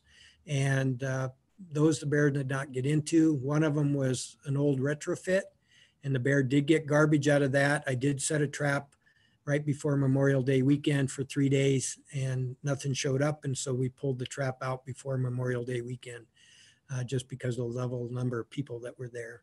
And I worked with Mark Ruby to fill him in on what was going on with the Forest Service, and they were going to go out to get that those two old dumpsters switched out of there and get new ones into place there. So that was down at Holland Lake. Um, so Kim Annis's uh, report that she sent to me, uh, she basically said that um, already mentioned that she caught that uh, three-year-old male that I had moved to the North Fork that ended up over in the Fortine area and that she uh, captured that bear and, and did kill it.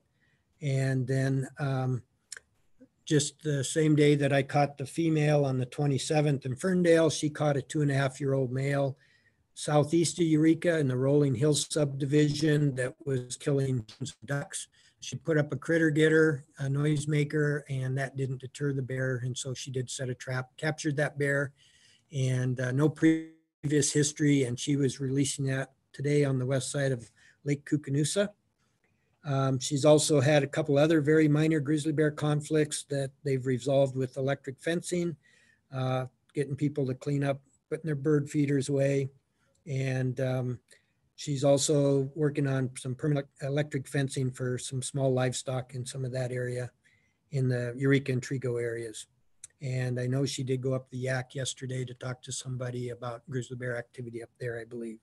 So anyway, that was what she had provided me in terms of passing along to you guys.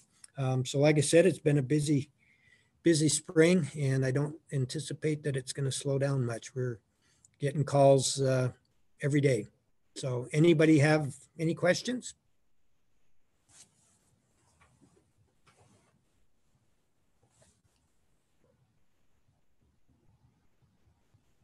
Okay, doesn't sound like any questions.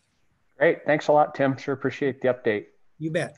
I'm going to shift to Region 2 um, uh, with Jamie Jonkel. And, and after Jamie speaks, we'll um, give an opportunity for Rory Trimbo to check in as well. So, Jamie? Yeah, can everyone hear me? Uh, yeah, I've got you just fine. Okay. Uh, so, Jamie Jonkel, uh, based out of Missoula, Region 2. And um, our bear management team consists of uh, Eli Hampson, who uh, also helps out with black bear and lion stuff. Um, then Eric Graham uh, is part of the team. He's with the Blackfoot Challenge. And then uh, I'd like to introduce Rory Trimbo, but he'll be uh, speaking with you later. Uh, Rory is just came on last fall, and he's assisting us here in Region 2 and Region 3 as well. And then we have quite a few volunteers that uh, help us out down here in Region 2 as well. Uh, it's been a busy spring, uh, especially with the black bears. Uh, this whole month of May has just been continual uh, black bear calls, black bear conflicts. Uh, with grizzlies, um, you know, in March, we started getting our typical reporting tracks here and there, uh, early April. Um, but by mid-April, we uh, started to see a lot of bears uh, congregating, you know, in the valley floors around uh, Seeley Lake, Ovando, Helmville, and Lincoln. But most of the grizzly activity, you know, was in that Ovando and Helmville area. Um, we've been seeing this sort of congregation in the spring after the snows uh, kind of start leaving the valley floor in that home uh, Ovando Helmville area. Um, and I, I think part of the reason we're seeing this is just the fact that so many of our Blackfoot Valley grizzly bears have keyed into the agricultural crops up there. Um, you know, we've got corn starting to show up, got a lot of hay barley, awful lot of alfalfa, oats, heavy irrigation, and sadly, our our uh, grizzly bear population is really figuring that out. Um, let's see. So it, it did start out uh, with uh, a, a, conflict that involved uh, a grizzly bear uh, taking four calves over about a four or five day period. We worked closely with Bart Smith Wildlife Services and uh, we did capture uh, an adult male. And uh, just due to the circumstances uh, and the fact that uh, multiple calves had, had been taken, uh, that bear was removed or destroyed. And that occurred on, on the 29th of April. We've also had two additional mortalities down here, both males. they were both shot uh, they're under investigation right now with the U.S. Fish and Wildlife Service. So I can't really uh, discuss those at this point, uh, but I'm hoping to have some press releases out here in the near future. We've had a, a lot of phone calls, you know, just of folks reporting uh, grizzlies, hunters, uh, antler hunters seeing grizzlies, black bear hunters seeing grizzlies. A lot of, uh, sorry.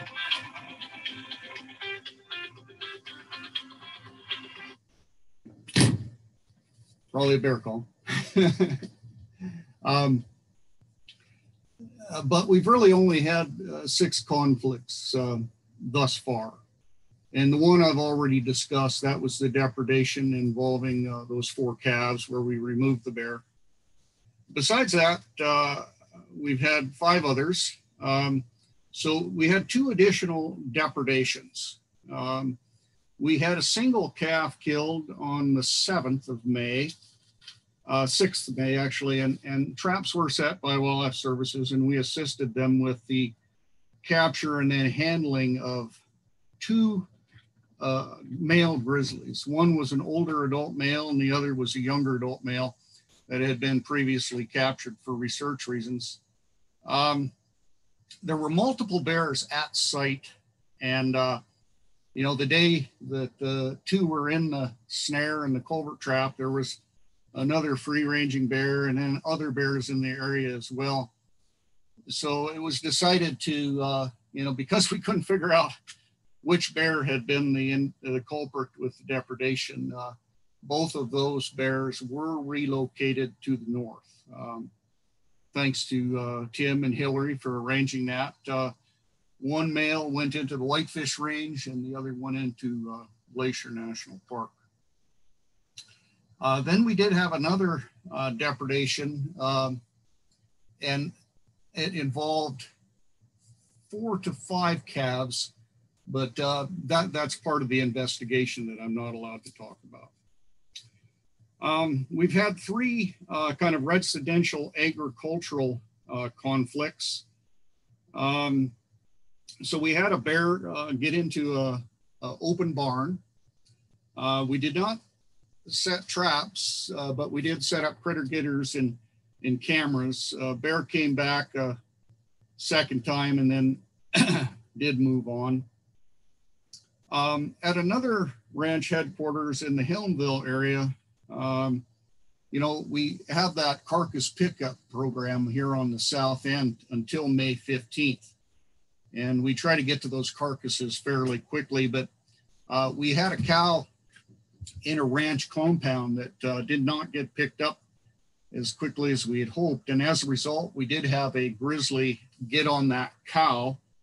And then uh, at the adjacent uh, place, uh, discovered crystal lick. And so we got that cow out of there right away and did put electric fence around the crystal lick buckets.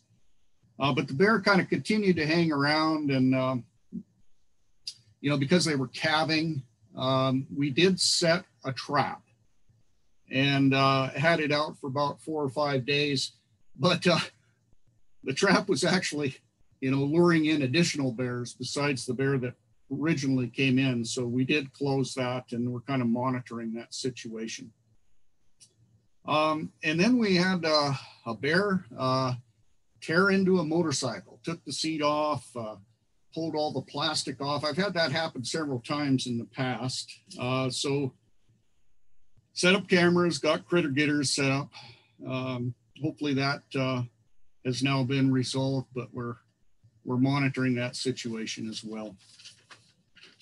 Um, let's see, just in terms of uh, prevention and education, you know, um, as soon as the COVID-19 uh, kicked into gear, we stopped doing a lot of our education and outreach. But prior to that, through, you know, February and March, we gave quite a few presentations to schools, especially down the bitter, but I guess that's sort of out of the ecosystem. Uh, but, uh, you know, around Missoula and in the Blackfoot. Um, we just wrapped up our carcass pickup program, the winter carcass pickup program that's sort of run by the Blackfoot Challenge. I didn't get a count yet, uh, but lots of carcasses uh, picked up and taken to our compost site. Um, let's see. Um, we are doing, we've already started two electric fencing projects uh, through the Blackfoot Challenge. Uh, there was a rebuild and extension on a ranching calving yard kind of uh, in between um, Helmville and Drummond. That uh, project has already been uh, wrapped up, brand new fence. And then our composting facilities with the Montana Department of Transportation at Clearwater Junction. Uh, that fence was starting to age and starting to come apart at the corners and we'd had some uh, bears get into it the last few years. So we are in the process of having that rebuilt as I speak. Well, let's see. Uh, I continue to work really quite closely with Defenders of Wildlife, Erin Edge and Russ Talmo. We've got all sorts of, you know, preventative projects going on around the Region 2 area and uh, doing a lot of uh, uh work with the elect through the electric fence incentive program. I've probably now I've seen about 10 different projects have been started this spring.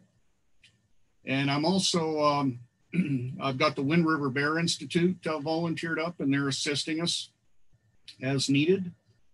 Um, got all of our neighborhood networks kind of ongoing. And then uh, I was kind of excited, you know, on the very south end here, um, I'll let Rory talk about this, but uh, we might have another composting facilities uh, in conjunction with uh, the state prison. But I'll let uh, Rory tell you about that, along with some of the other things he's been doing. But uh, that's pretty much all I have, unless folks have questions.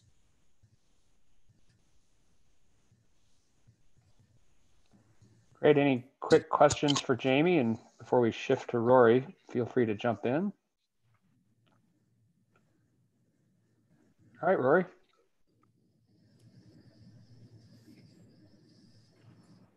Hello again. Um, I'm sure a lot of you already know me or see me around, but uh, again, my name is Rory Trimbo. I'm the new grizzly bear management person um, based out of Deer Lodge, Anaconda area.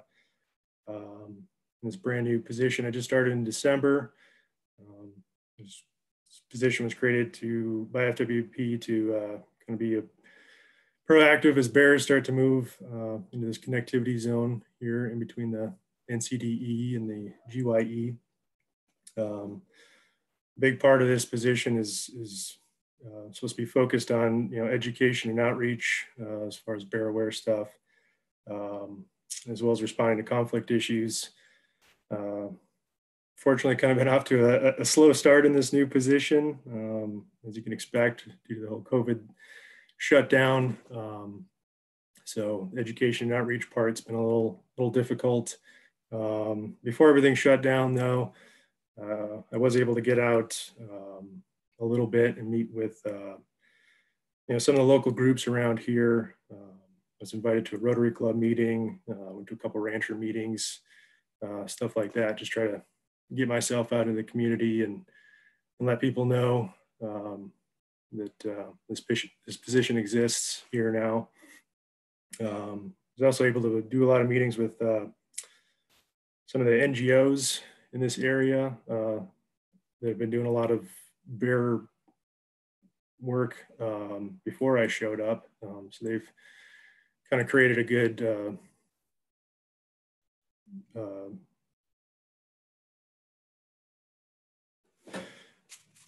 uh, place for me to enter here. Um, so I was able to meet with some of them, uh, getting familiar with some of the other agencies, the Forest Service, Wildlife Services around here. Um, as Jamie talked about, yeah, one of our big, biggest projects uh, that we kind of started working on back in January, February was the uh, new livestock compost site. Uh, unfortunately, there, there was one in Drummond, but um, fortunately they shut it down last year. Um, so we're trying to find a new new place for that. Um, so we've been talking with the state prison and Deer Lodge, um, trying to work with them. Hopefully they can be a good partner for that because um, they already kind of have a, a working ranch there uh, as well as their own kind of compost pile. So hopefully we might be able to tie in with them. Um, could be a good opportunity for them. Um, so we'll see how that goes. Again, that's kind of been slowed down too. Um, hopefully we can meet with them and make some more plans here as things open up. Um, and then, yeah, so far it's been fairly quiet in my area, um, but Jamie's been really great about keeping me in the loop um, about things going on with with those guys, with his his crew, with Jamie, Eli, and Eric. Um, he's really been keeping me involved in in some of those those conflicts that are occurring up in the the Blackfoot area. So I've been involved quite a bit with that um, getting out, meeting people, uh, being involved with that. So, um, yeah, and then for the future, uh, trying to do some uh, work with some folks to try and maybe do some virtual stuff uh, for the summer um, if things remain closed down. Um, so just trying to adapt and uh, and do some some maybe virtual stuff for the summer. So that's, I think, all I got for now. Great, thanks, Rory. So looking at the um, agenda, I think we'll shift to the eastern side, Region Four. Um, I'm not, I don't think we've got Mike on, but I know that we've got Wesley. So Wesley, if you'll start and then maybe give us a heads up if you're going to cover any other stuff for Mike or if I should switch to Gary Bertellotti for that. But um, we'll start with you. Hello, everyone, good afternoon. Fortunately, it's been a bit slower of a spring here out on the prairie. We've only had four conflicts so far. Uh, one conflict was a calf attacked by a grizzly bear near Lake Frances. The calf survived. worked with Mike Hogan in that response, and it's protocol not to set traps when the calf is still alive. Uh, the other situation was on Muddy Creek, where one calf was attacked and still alive, and, and the other calf was killed. And so we did set a trap in that situation, but we weren't able to ca capture anything. That was with Kurt Medke of Wildlife Services. Uh, and the only other conflicts that we've had have been uh, bear bedding in a shelter belt southwest of Lake Frances and a bear on the outskirts of the town of Shelby. So with the slower conflicts, we've really been able to focus on proactive work, keeping people safe and keeping property safe. Of course, working with my technician, Sarah Zilke, who's been fantastic. Uh, so far this year, we've had 122 calls for information or service. 23 of those calls were actual bear sightings that we post on our Facebook page.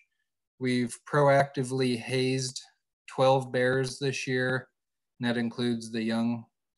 Uh, so we've been able to keep bears away from towns and people that way. We've initiated 29 call trees. We've had 64 in-person meetings so far. We've installed two bearware signs at important recreational sites around Valier. We've given away 13 bear sprays to producers already this year. We've done 26 proactive patrols where grizzly bears have been seen so we can go out and haze them before they cause problems or get close to people. Uh, we've deployed eight scare devices proactively where we think uh, bears might come in near homes because of grain spills. And so we've done that before the bears have come in to try to keep them away. Uh, we've had no captures yet this year and no mortalities. We've built three permanent electric fences already this year, one around a residential place for an elderly man on Lake Frances, uh, one around a chicken coop on the Teton River, and one uh, around a hog farm on the dry fork of the Marias River. Um, and we've installed two temporary electric fences around boneyards that couldn't be picked up. Our carcass collection effort has been full swing this year. Fortunately, we've had the same great driver back this year, which is the first year we've had a driver return. And we were able to do that by being flexible with his schedule. And so we've had probably the best carcass collection effort uh, that we've ever had in this area because of that. And that might be contributing to the reduction in conflicts. Um, let's see, I think that that is it. Any questions? Uh, just a quick one for me. and others may have questions too, Wes. But the um, just looking at the those proactive scare devices, are those primarily sound? Sound and lights. Okay. Mm -hmm. Motion activated. And then um, I don't see, uh, didn't see Mike on, and know that he's busy. Um, didn't know if I know Gary Bertellotti alluded to some activity over um, in Mike's area. Don't know, Gary, if you just want to touch real briefly on what you had so far. Yeah, I have one question for Wesley. Hey, Wes, do you have a um, summary of our carcass pickup this year? I, I know we had a little bit of slow start on that, but uh, wanted to get uh, folks in, in the loop on what we actually did on that. I'm sorry, I don't have those numbers right now. Okay, appreciate it, Mm -hmm. Yeah, uh, Gary Bertellotti, uh, Fish, Wildlife and Parks, Great Falls Regional Supervisor um, on the east side of the NCDE. Um, Mike wasn't able to join us today because of uh, conflict uh, resulting from a black bear hunter and shooting of a uh, grizzly bear. Um, we've had two of those in the last week, both of them under investigation, so I can't really give any details on those. Um, uh, give you a real brief uh, summary of what Mike has been doing, and I'm sure I'm missing a lot of the stuff that he's done. Uh, there's been one capture um, of a male that was involved in a calf depredation, uh, working with wildlife services. I'm not sure exact location on that. Th that bear was removed early um, from the population.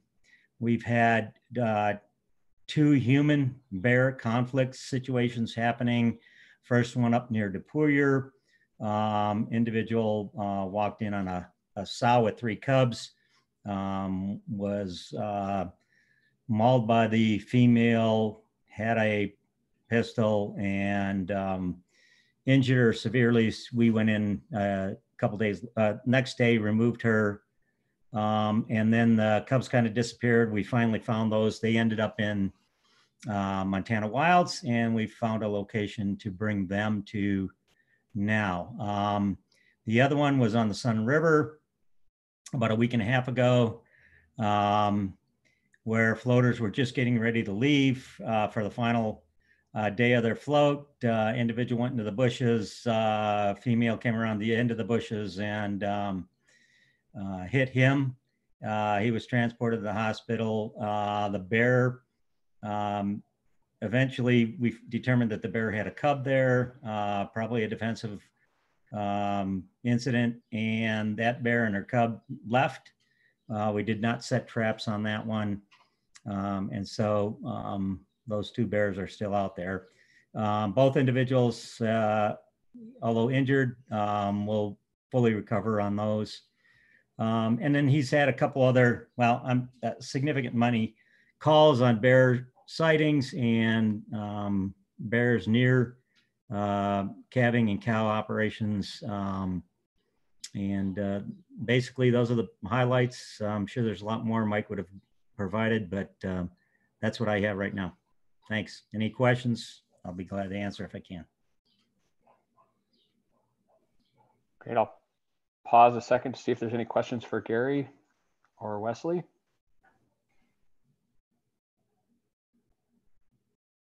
Great. Thanks a lot, Gary. Um, and thanks for pinch hitting there for Mike. I don't know that I could even begin to do that for Jamie's efforts. Um, let's switch. I don't believe we have anybody but from the Blackfeet, but I'll pause just to make sure we don't.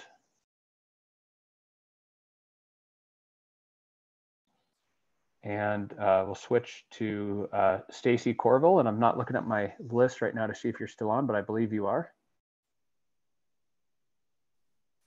Yeah, I'm here. Um, thankfully, it's been a, a slow year compared to what everybody else has done. Um, Carrie and I have put up a couple electric fences around chicken coops and handed out a couple a couple of critter getters, but but realistically, I mean, compared to last year, um, when I started trapping in February, um, it's been quiet on the CSKT. And maybe that's a, well, I don't know why. Um, I guess um, the other updates I would give is that um, People and Carnivores, Bryce Andrews, um, is in the process of putting up a temporary, well, a permanent electric fence around a melon field between Ravalli and Dixon because the bears discovered um, Dixon melons last year. Well, probably before that, but um, and then um, the other effort we have going is similar to what the Blackfeet has been doing for years. Um, people that come into our office and buy recreation permits or hunting permits or fishing stamps, you know, um, for a $10 donation can get a can of bear spray from us.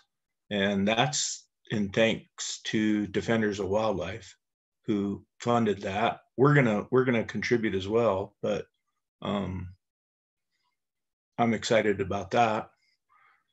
And then the other thing we're doing is um, developing some um, permanent signs, bear education signs that we're going to put at some of the um, scenic turnouts and rest areas. And they're going to be um, probably something similar to what Wesley has put up and Jamie. Um, just just trying to teach people that you know they're in bear country and to carry bear spray and be bear aware and Um, but yeah, thankfully, um, this spring for us has been kind of slow, other than you know a couple chicken coops and um, just bears being in yards. And I guess that's it.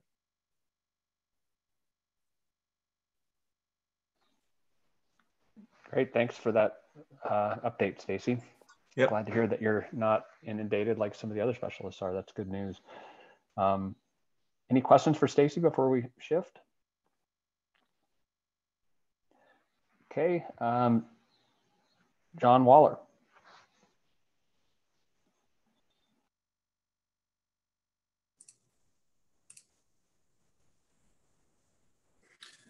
Good afternoon, everybody.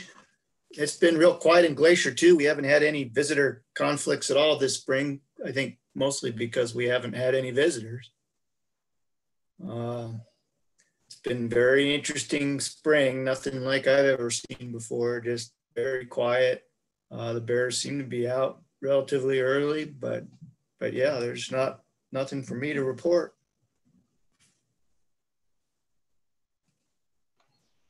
Simple enough. Thanks, John.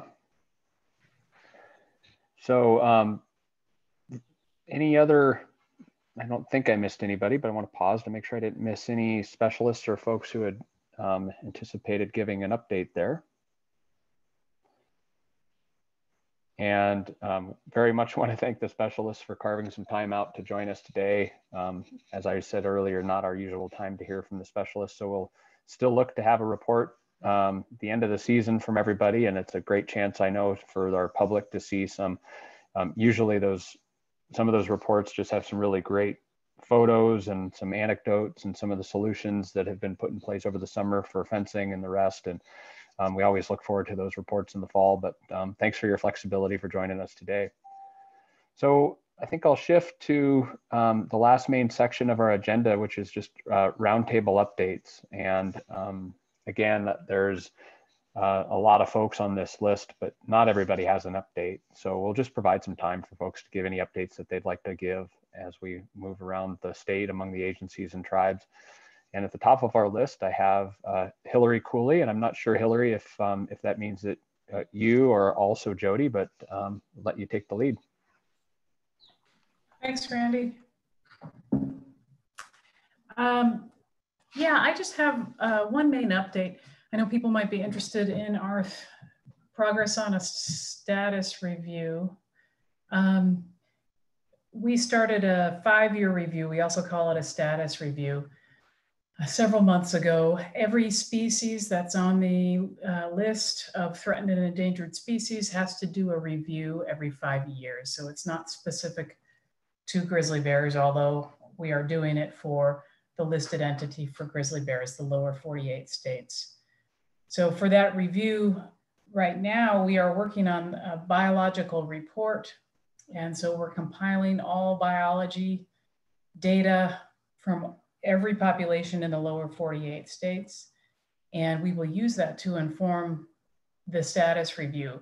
And that status review will recommend um, whether that listing listing of the lower 48 states as threatened should remain the same or if it should be uplisted or delisted. We can also make other recommendations at different reviews. Uh, the service has done that, whether maybe there's a DPS in there or something else.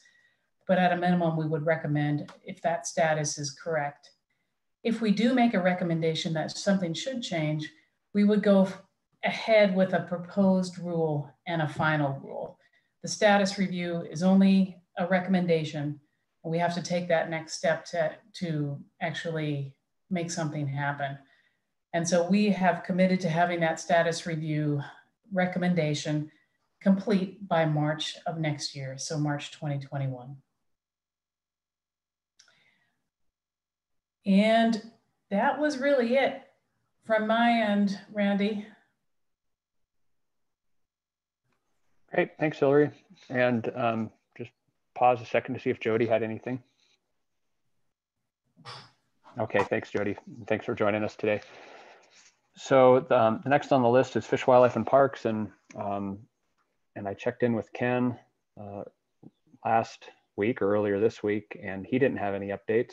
Um, the only thing I had was more on the COVID related front for Fish, Wildlife, and Parks in general, and just that it's been um, odd like all the other agencies. And I really appreciated hearing from Jeff Mow. And so I thought I would take just a second to just describe a little what um, how we manage things. And right out of the gate for Fish, Wildlife, and Parks with the governor's orders um, and the stay home orders, uh, parallel with that or with consistent with that was also the encouragement that folks get outside to recreate. And I know our federal partners each equally felt this.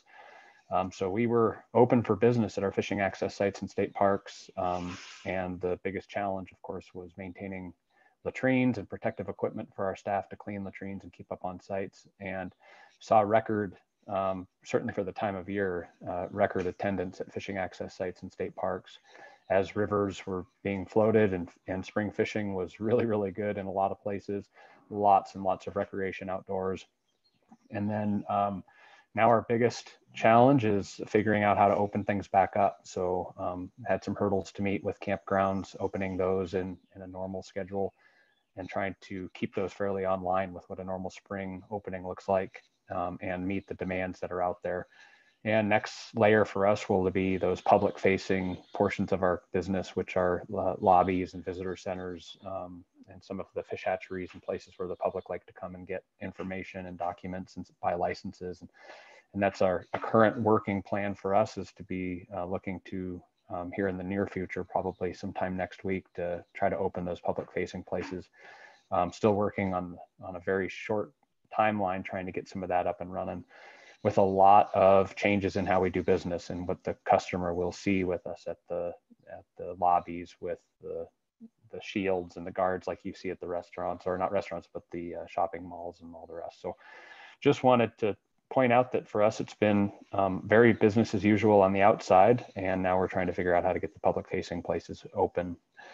And I will pause just here to see if um, Gary, Bertellotti, or Jim had any other updates and just see if they had anything from their perspective that I missed. Thanks, Gary. No, I, I just add that uh, our bear team was working really strategically with the city of Whitefish, which has always been a hotspot. And some really good things came out of working with them. Uh, Tim and Eric and every, frankly, we had a big crew that met with Whitefish, and then COVID happened, and now the city, the revenues changed. So, um, you know, it's more of a stay tuned, but I think we're working towards bear proofing. And on a personal note, my garbage can in Whitefish got hit by a bear, and luckily I sprung the 80 bucks and got the can. It worked, didn't get anything. So that's all I. Thanks, thanks, Jim. Yeah, not much here, um, folks. Uh, just that, you know, we're continually working at this expansion of grizzly bears out onto the prairie, onto private grounds and the ag and, and um, small communities associated with those uh, agricultural uh, areas and private lands. Um, will be a consistent um, effort for us to educate folks and um, keep bears in check as far as uh, out of conflict, but uh, it's a challenge and the expansion continues.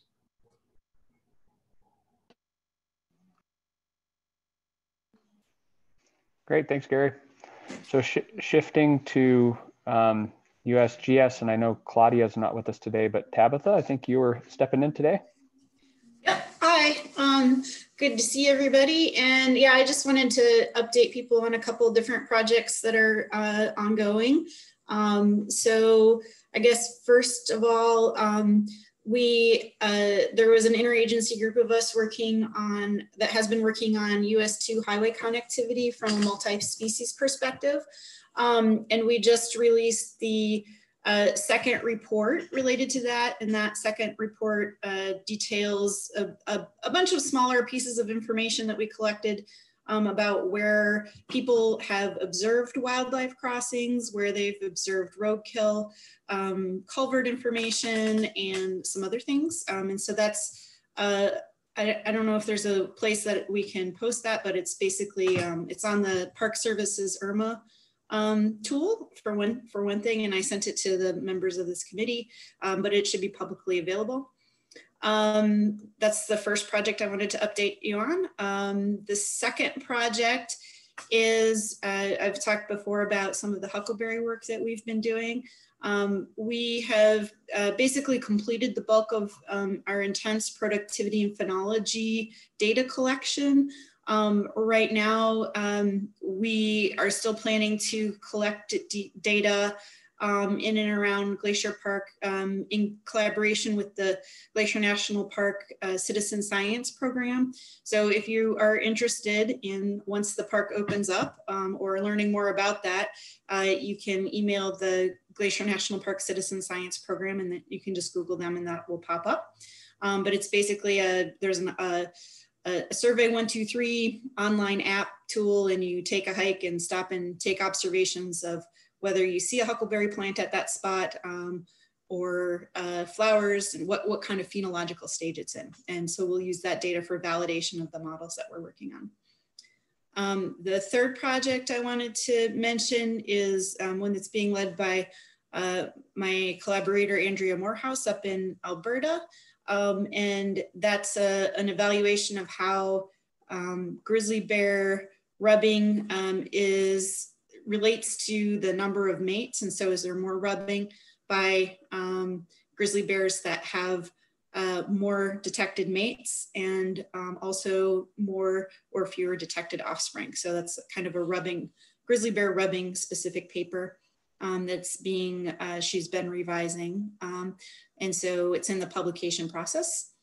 Um, and then finally, I just wanted to mention that um, with the uh, genetic data in the in and around Glacier National Park from 1998 to 2012, we've started to work up an analysis plan for um, assessing how changes in habitat, um, including uh, some of the fire, big fires that have been in the park over that time period, might influence uh, uh, grizzly bear density. So those are the um, four uh, projects that are related to grizzly bears that we've been working on. And with that, if there, if anybody has any questions, I'd be happy to expand.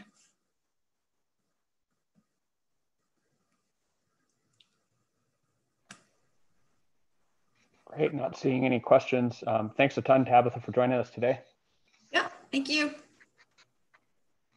And we heard from Jeff this morning, thankfully. And then as I look to the U.S. Forest Service, I know we heard from Kurt. So um, and I Carolyn Upton let me know that she wasn't going to be able to join us today, but uh, maybe we'll look to Bill to see if you had some updates, Bill.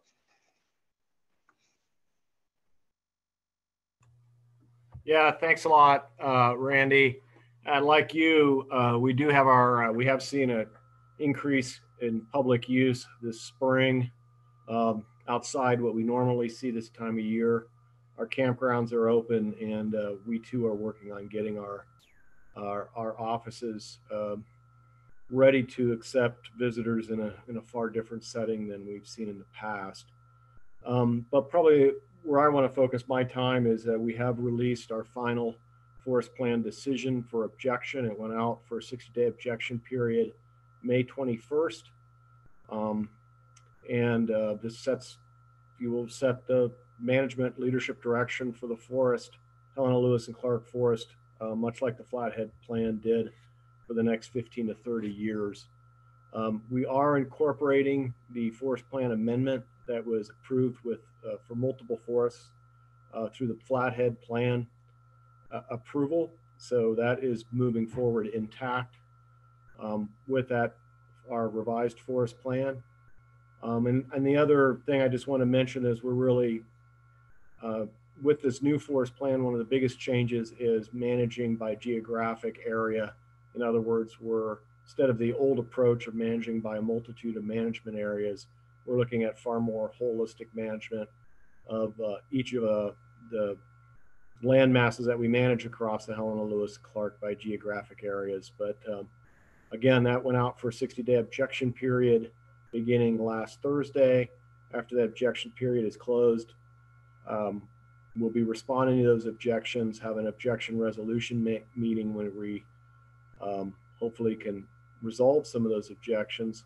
And then I look to be making a final decision early next year on that forest plan um, those are big updates. Thank you very much.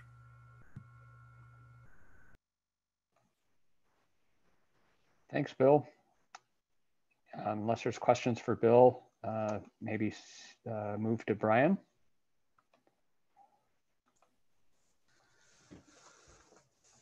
Uh, yeah, thanks, Randy. Um, what uh, I wanted to update is that uh, we are seeing quite a bit of the same activity that everybody else is as far as the numbers of bears that are going through the Tobacco Valley. But one, one difference we're having is uh, we're not getting the campground use that we typically would this time of year because the border is closed. We get a lot of Canadians, uh, Albertans in particular, that come down and use our campgrounds.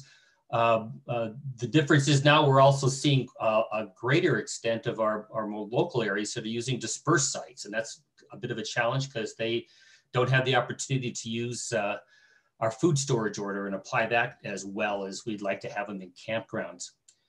Um, we uh, uh, have some big news. That is, we're we're looking at uh, starting Monday on our uh, West Kootenai Greenbox site relocation project. That's going to replace two unsecured green box uh, garbage transfer sites and, and replace it with this one that'll be uh, state of the art with all kinds of electric fencing and, and opportunities for us to keep all kinds of animals out of that site. That's been a long time coming. It's technically in the CYE, uh, but that is also uh, the connection area between the two ecosystems. And so real important for uh, both of those. That's uh, all I had to report. Thanks. Yeah, thanks, Brian. It's good news on the transfer sites. Um, so uh, Stacy, I'll look to you to see if you had any additional updates from CSKT. Didn't want to roll past you if you did.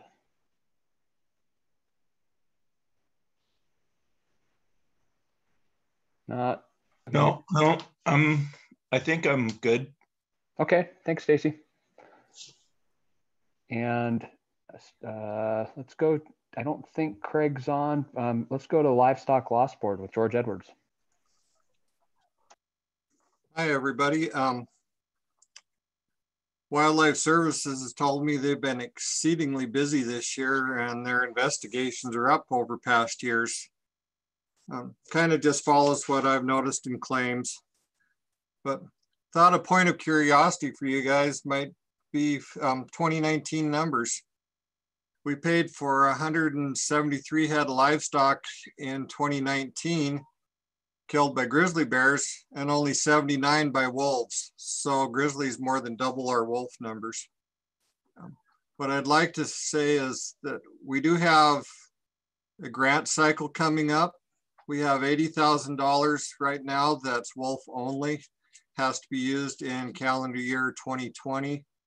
And with any luck, we will have about $80,000 of money available for grants for our grizzly bear loss prevention projects. Um, our grant applications on our website, llb.mt.gov, and the deadline is June 30th. Our board will be meeting somewhere towards the end of July or the first part of August to award those grants. The state money um, that we call our grizzly grant money is good for one year from when we issue it. So that can carry over into next year. I don't know if it's because of COVID, but the claims have not come in as quickly as they have in past years. However, um, in talking with John Steuber with Wildlife Services, it sounds like I have a lot of claims still to come in um, just from this spring. And that's really all I have. Great, thanks, George. Um, and I was momentarily distracted and just caught the very tail end of what you were saying around your 2020 grant award. Um, what's available there? Could you repeat those figures again? We have $80,000 that's wolf only. It has, it's a 50-50 cost share. And we won't know exactly how much money we have that can go towards grizzly bear prevention projects until we close out the state budget year on June 30th. But um, just from looking at the figures I have right now, I'm guessing around $80,000. With the state money, it's a lot more flexible than the federal money in that it's good for one year from when we issue it. So um, you know, somebody that's looking at finishing out a project this year or wanting to start into one next year, the state money would be available. And again, the deadline is June 30th for those grant applications. Great, thanks, George. Um, pause here for a second to see if anybody else has questions for George Edwards. All right. Looks like I'm in luck. You're you're you're off the hook, George. Thanks. So uh, let's go to Department of Transportation with Joe Weigand.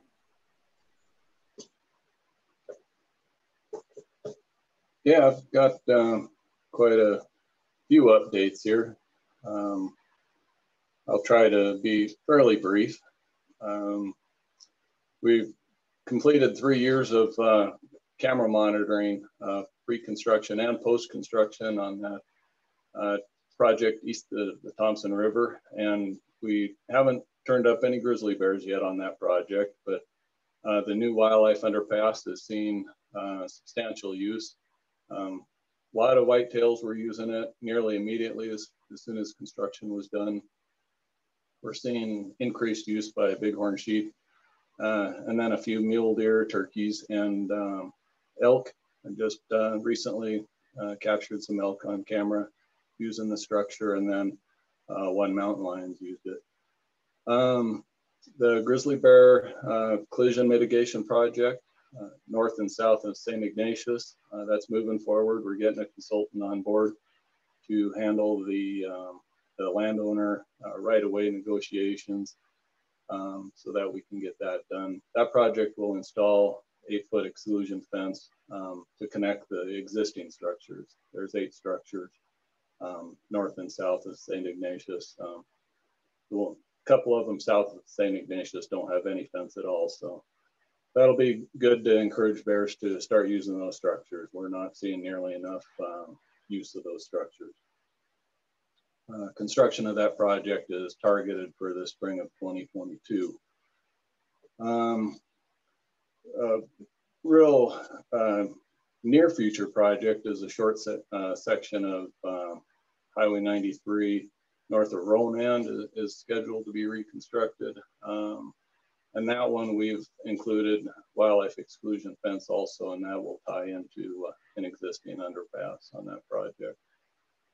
Um, the reconstruction project uh, also on US 93, um, north and south, south of Post Creek is still moving along. Uh, that one uh, has run into quite a few hurdles as far as uh, seismic and geotechnical um, issues as far as bridge construction.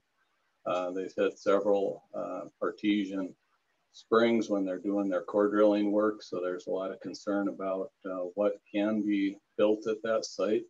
Um, that's better than the existing uh, small bridge, but um, you know, we're guaranteed to get a larger bridge on Post Creek. We just don't know what the size is going to be and how it will be supported. There's a lot of uh, seismic fears with that one, um, as well as uh, any anything going into the ground, including the wildlife exclusion fence that will accompany that project. Uh, we're not exactly sure if the uh, if all the posts will stay in the ground. Um, let's see. Uh, we've got a feasibility study that's just wrapping up now for wildlife exclusion fence along I-90 between Drummond and Gold Creek. I think I've mentioned that one before. Um, as soon as that feasibility study is complete, we will be moving into uh, very rapid design and construction. We're hoping to get that fence up. Uh, it's nearly 10 miles of fence, but, um, and we're hoping to get it done by 2021, uh, the fall of 2021. So that, that project project should move really fast in, in the near future to get done by that time. Um, a new development we just had in, in conjunction with that project is we have a culvert that was identified that's in need of repair. Um, it goes under both both lanes, north, um, east and westbound of I-90. Uh, so it's a 216 foot long culvert. Um, it's fairly sizable. It's uh, over nine feet wide and over six feet high, but being 216 feet long, it's a pretty long, dark tunnel. But uh, recognizing it uh, as an opportunity to provide wildlife passage um, and and really any reconstruction on I-90 uh, just doesn't occur anymore. You know, it's, it's very far and few between. And so this is a really good opportunity uh, to potentially get some um, uh, wildlife accommodation in place and, and, improve habitat connectivity in that stretch. Um, but uh, MDT is reaching out to outside uh, partners uh, to potentially secure funds um, above and beyond what MDT is going to be able to uh, um, uh, finance for, for that culvert installation. You know, right now we're moving forward with uh, a minimum structure design and trying to come up with estimates of what it would take just to replace the existing steel culvert with um, a similar size box culvert. And, and it's, it carries a pretty hefty price tag, but we also don't want to miss an opportunity uh, with that replacement. Um, a few things going on on the east front. Um, the camera monitoring, um, well, I guess it's not the east front, uh, east of Lincoln on Highway 200. Uh, the camera monitoring on those new structures that were installed a few years ago is uh, is still showing uh, use by single bears. Uh, Paul Sturm, my counterpart in the Great Falls District, is he's doing that monitoring and he said that uh, he has not captured images of any females with young using those uh, structures yet. And then he will be putting up uh, cameras and doing monitoring on the new structures that were built on Highway 89 uh, north of Kiowa. Uh, I think he's planning on getting that done this year. Um, so fairly big news and kind of hard to cover in a fairly short period of time is that, uh, you know, we're nearing uh, completion of wrapping up consultation, ESA consultation with Fish and Wildlife Service for the US 93 North uh, corridor from Evaro to Polson. Um, with that biological opinion nearly complete, um, you know, it's, it's, critical to get that opinion so that we can move forward with that uh, project I mentioned on Ronan. Uh, that falls under this, uh, this consultation. Um, but we've, uh, the service has been great. They've worked with uh, Department of Transportation uh, throughout development of the uh, biological opinion and, and CSKT. Um, all, all three entities have been talking throughout development and, and CSKT has been uh, critical in, in development of a lot of the recommendations uh, for that uh, opinion. And then also I just wanted to mention uh, and say thanks to Cecily Costello because she turned out some phenomenal research and a very informative report for the Fish and Wildlife Service to use there in their analysis for um, bear mortality on the highway. And, and so really appreciate how fast she was able to turn that out and, and the quality of the report that she produced. Um, and then uh, I just mentioned that the results from that report really uh, emphasize uh, the importance of the role of, of highways and transportation corridors uh, and the role uh, they play in, in grizzly bear conservation. And then it also really supports uh, MDT's continued efforts to uh, mitigate um, grizzly bear and vehicle collisions. So great, great effort by all on that one. And, and I look forward to seeing the final biological opinion. Um, let's see, I think that might, might be it. Yeah, that was a lot to run through. So I, I pre apologize if I covered anything too quickly, but I would encourage any questions. All right, any questions?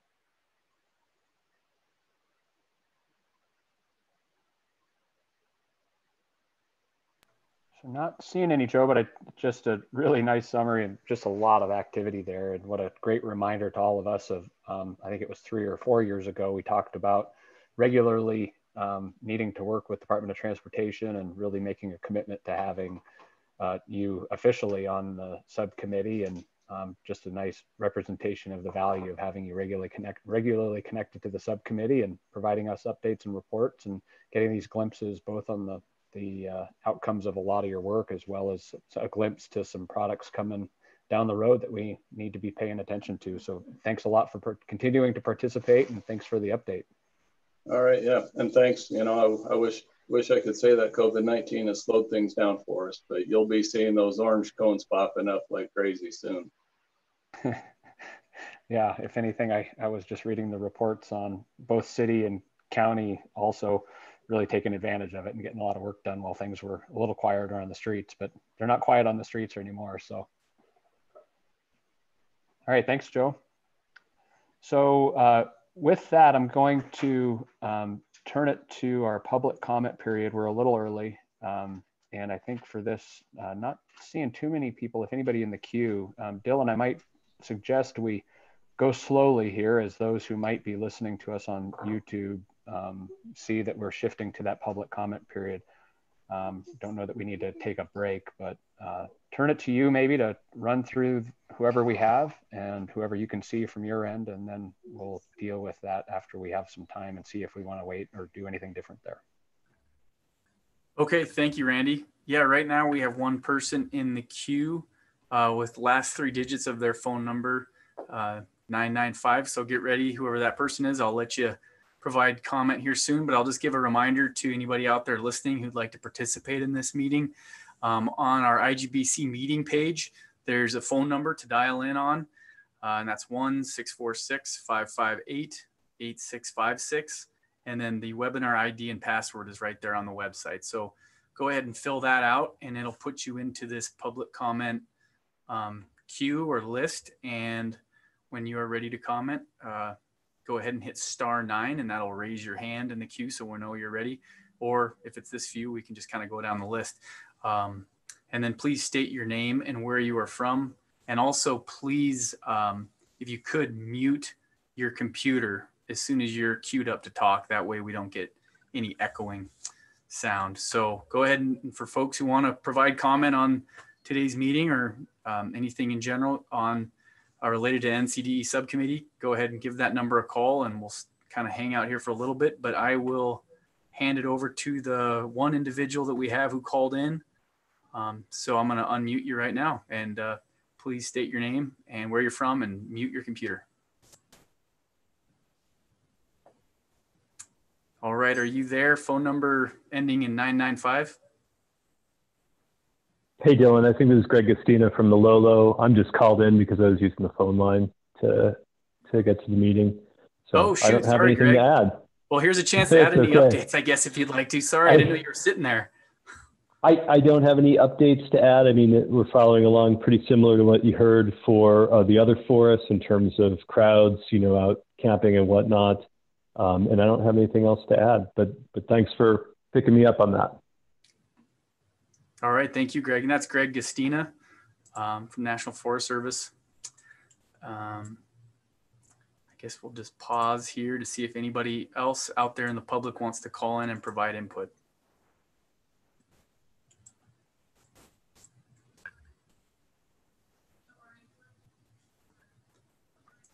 So while we're doing that, I'll, I'm going to start wrapping things up here just a little bit. Um, I want to do a, a round robin check with folks to see if there's any last minute things for the good of the order from anybody, and then I can give a little forecast of what we see coming at us for the fall, maybe. Okay, not seeing any. So what I'd offer is just planning ahead a little, um, knowing uh, we have our normal fall meeting. Um, I gave myself a little bit of a reminder around September to start planning our normal fall NCDE meeting. Um, of course, we don't know what that's going to look like for whether or not we're getting together. Um, we have a couple meetings scheduled at the IGBC this summer, um, kind of two in a row, one in June and one in July. And um, but as the summer progresses and as we move in towards fall, I'll be prepared to start setting some things. Um, if it looks like we're able to meet in person, um, then I'll aim to coordinate that with the, the winter IGBC meeting um, like we've done in the past. And um, location is usually pretty helpful there. A lot, a lot yet to determine there, both in how we meet, where we meet, and the rest. But just forecasting a little that I'll probably start really gathering that together in September. And then, um, and Dillon, looking to the attendees, do we have anybody else that have popped in there? We don't, no. Okay. Well, I'm going to I'm going to uh, move us towards wrapping up then. And I want to say thanks to everybody both for your, your willingness to join us on a Friday um, and also your flexibility to do this virtually. Um, after canceling this meeting, I was disappointed because I really do enjoy seeing all of you and getting together and catching up. Um, I'm disappointed that we don't have the ability for all the social bit because I know we get a lot of our work done both just in the halls as we bump into each other. Um, but I'm confident that we're connecting to each other in other ways via email and other meetings um, to accomplish that stuff. Um, again, very thankful for your participation today and um, have a, a uh, really safe and fun summer. And hopefully everybody's getting out and recreating. And I'll pause one last time to see if anything if anybody else has any uh, last minute thoughts they wanted to share, and otherwise we'll close her down.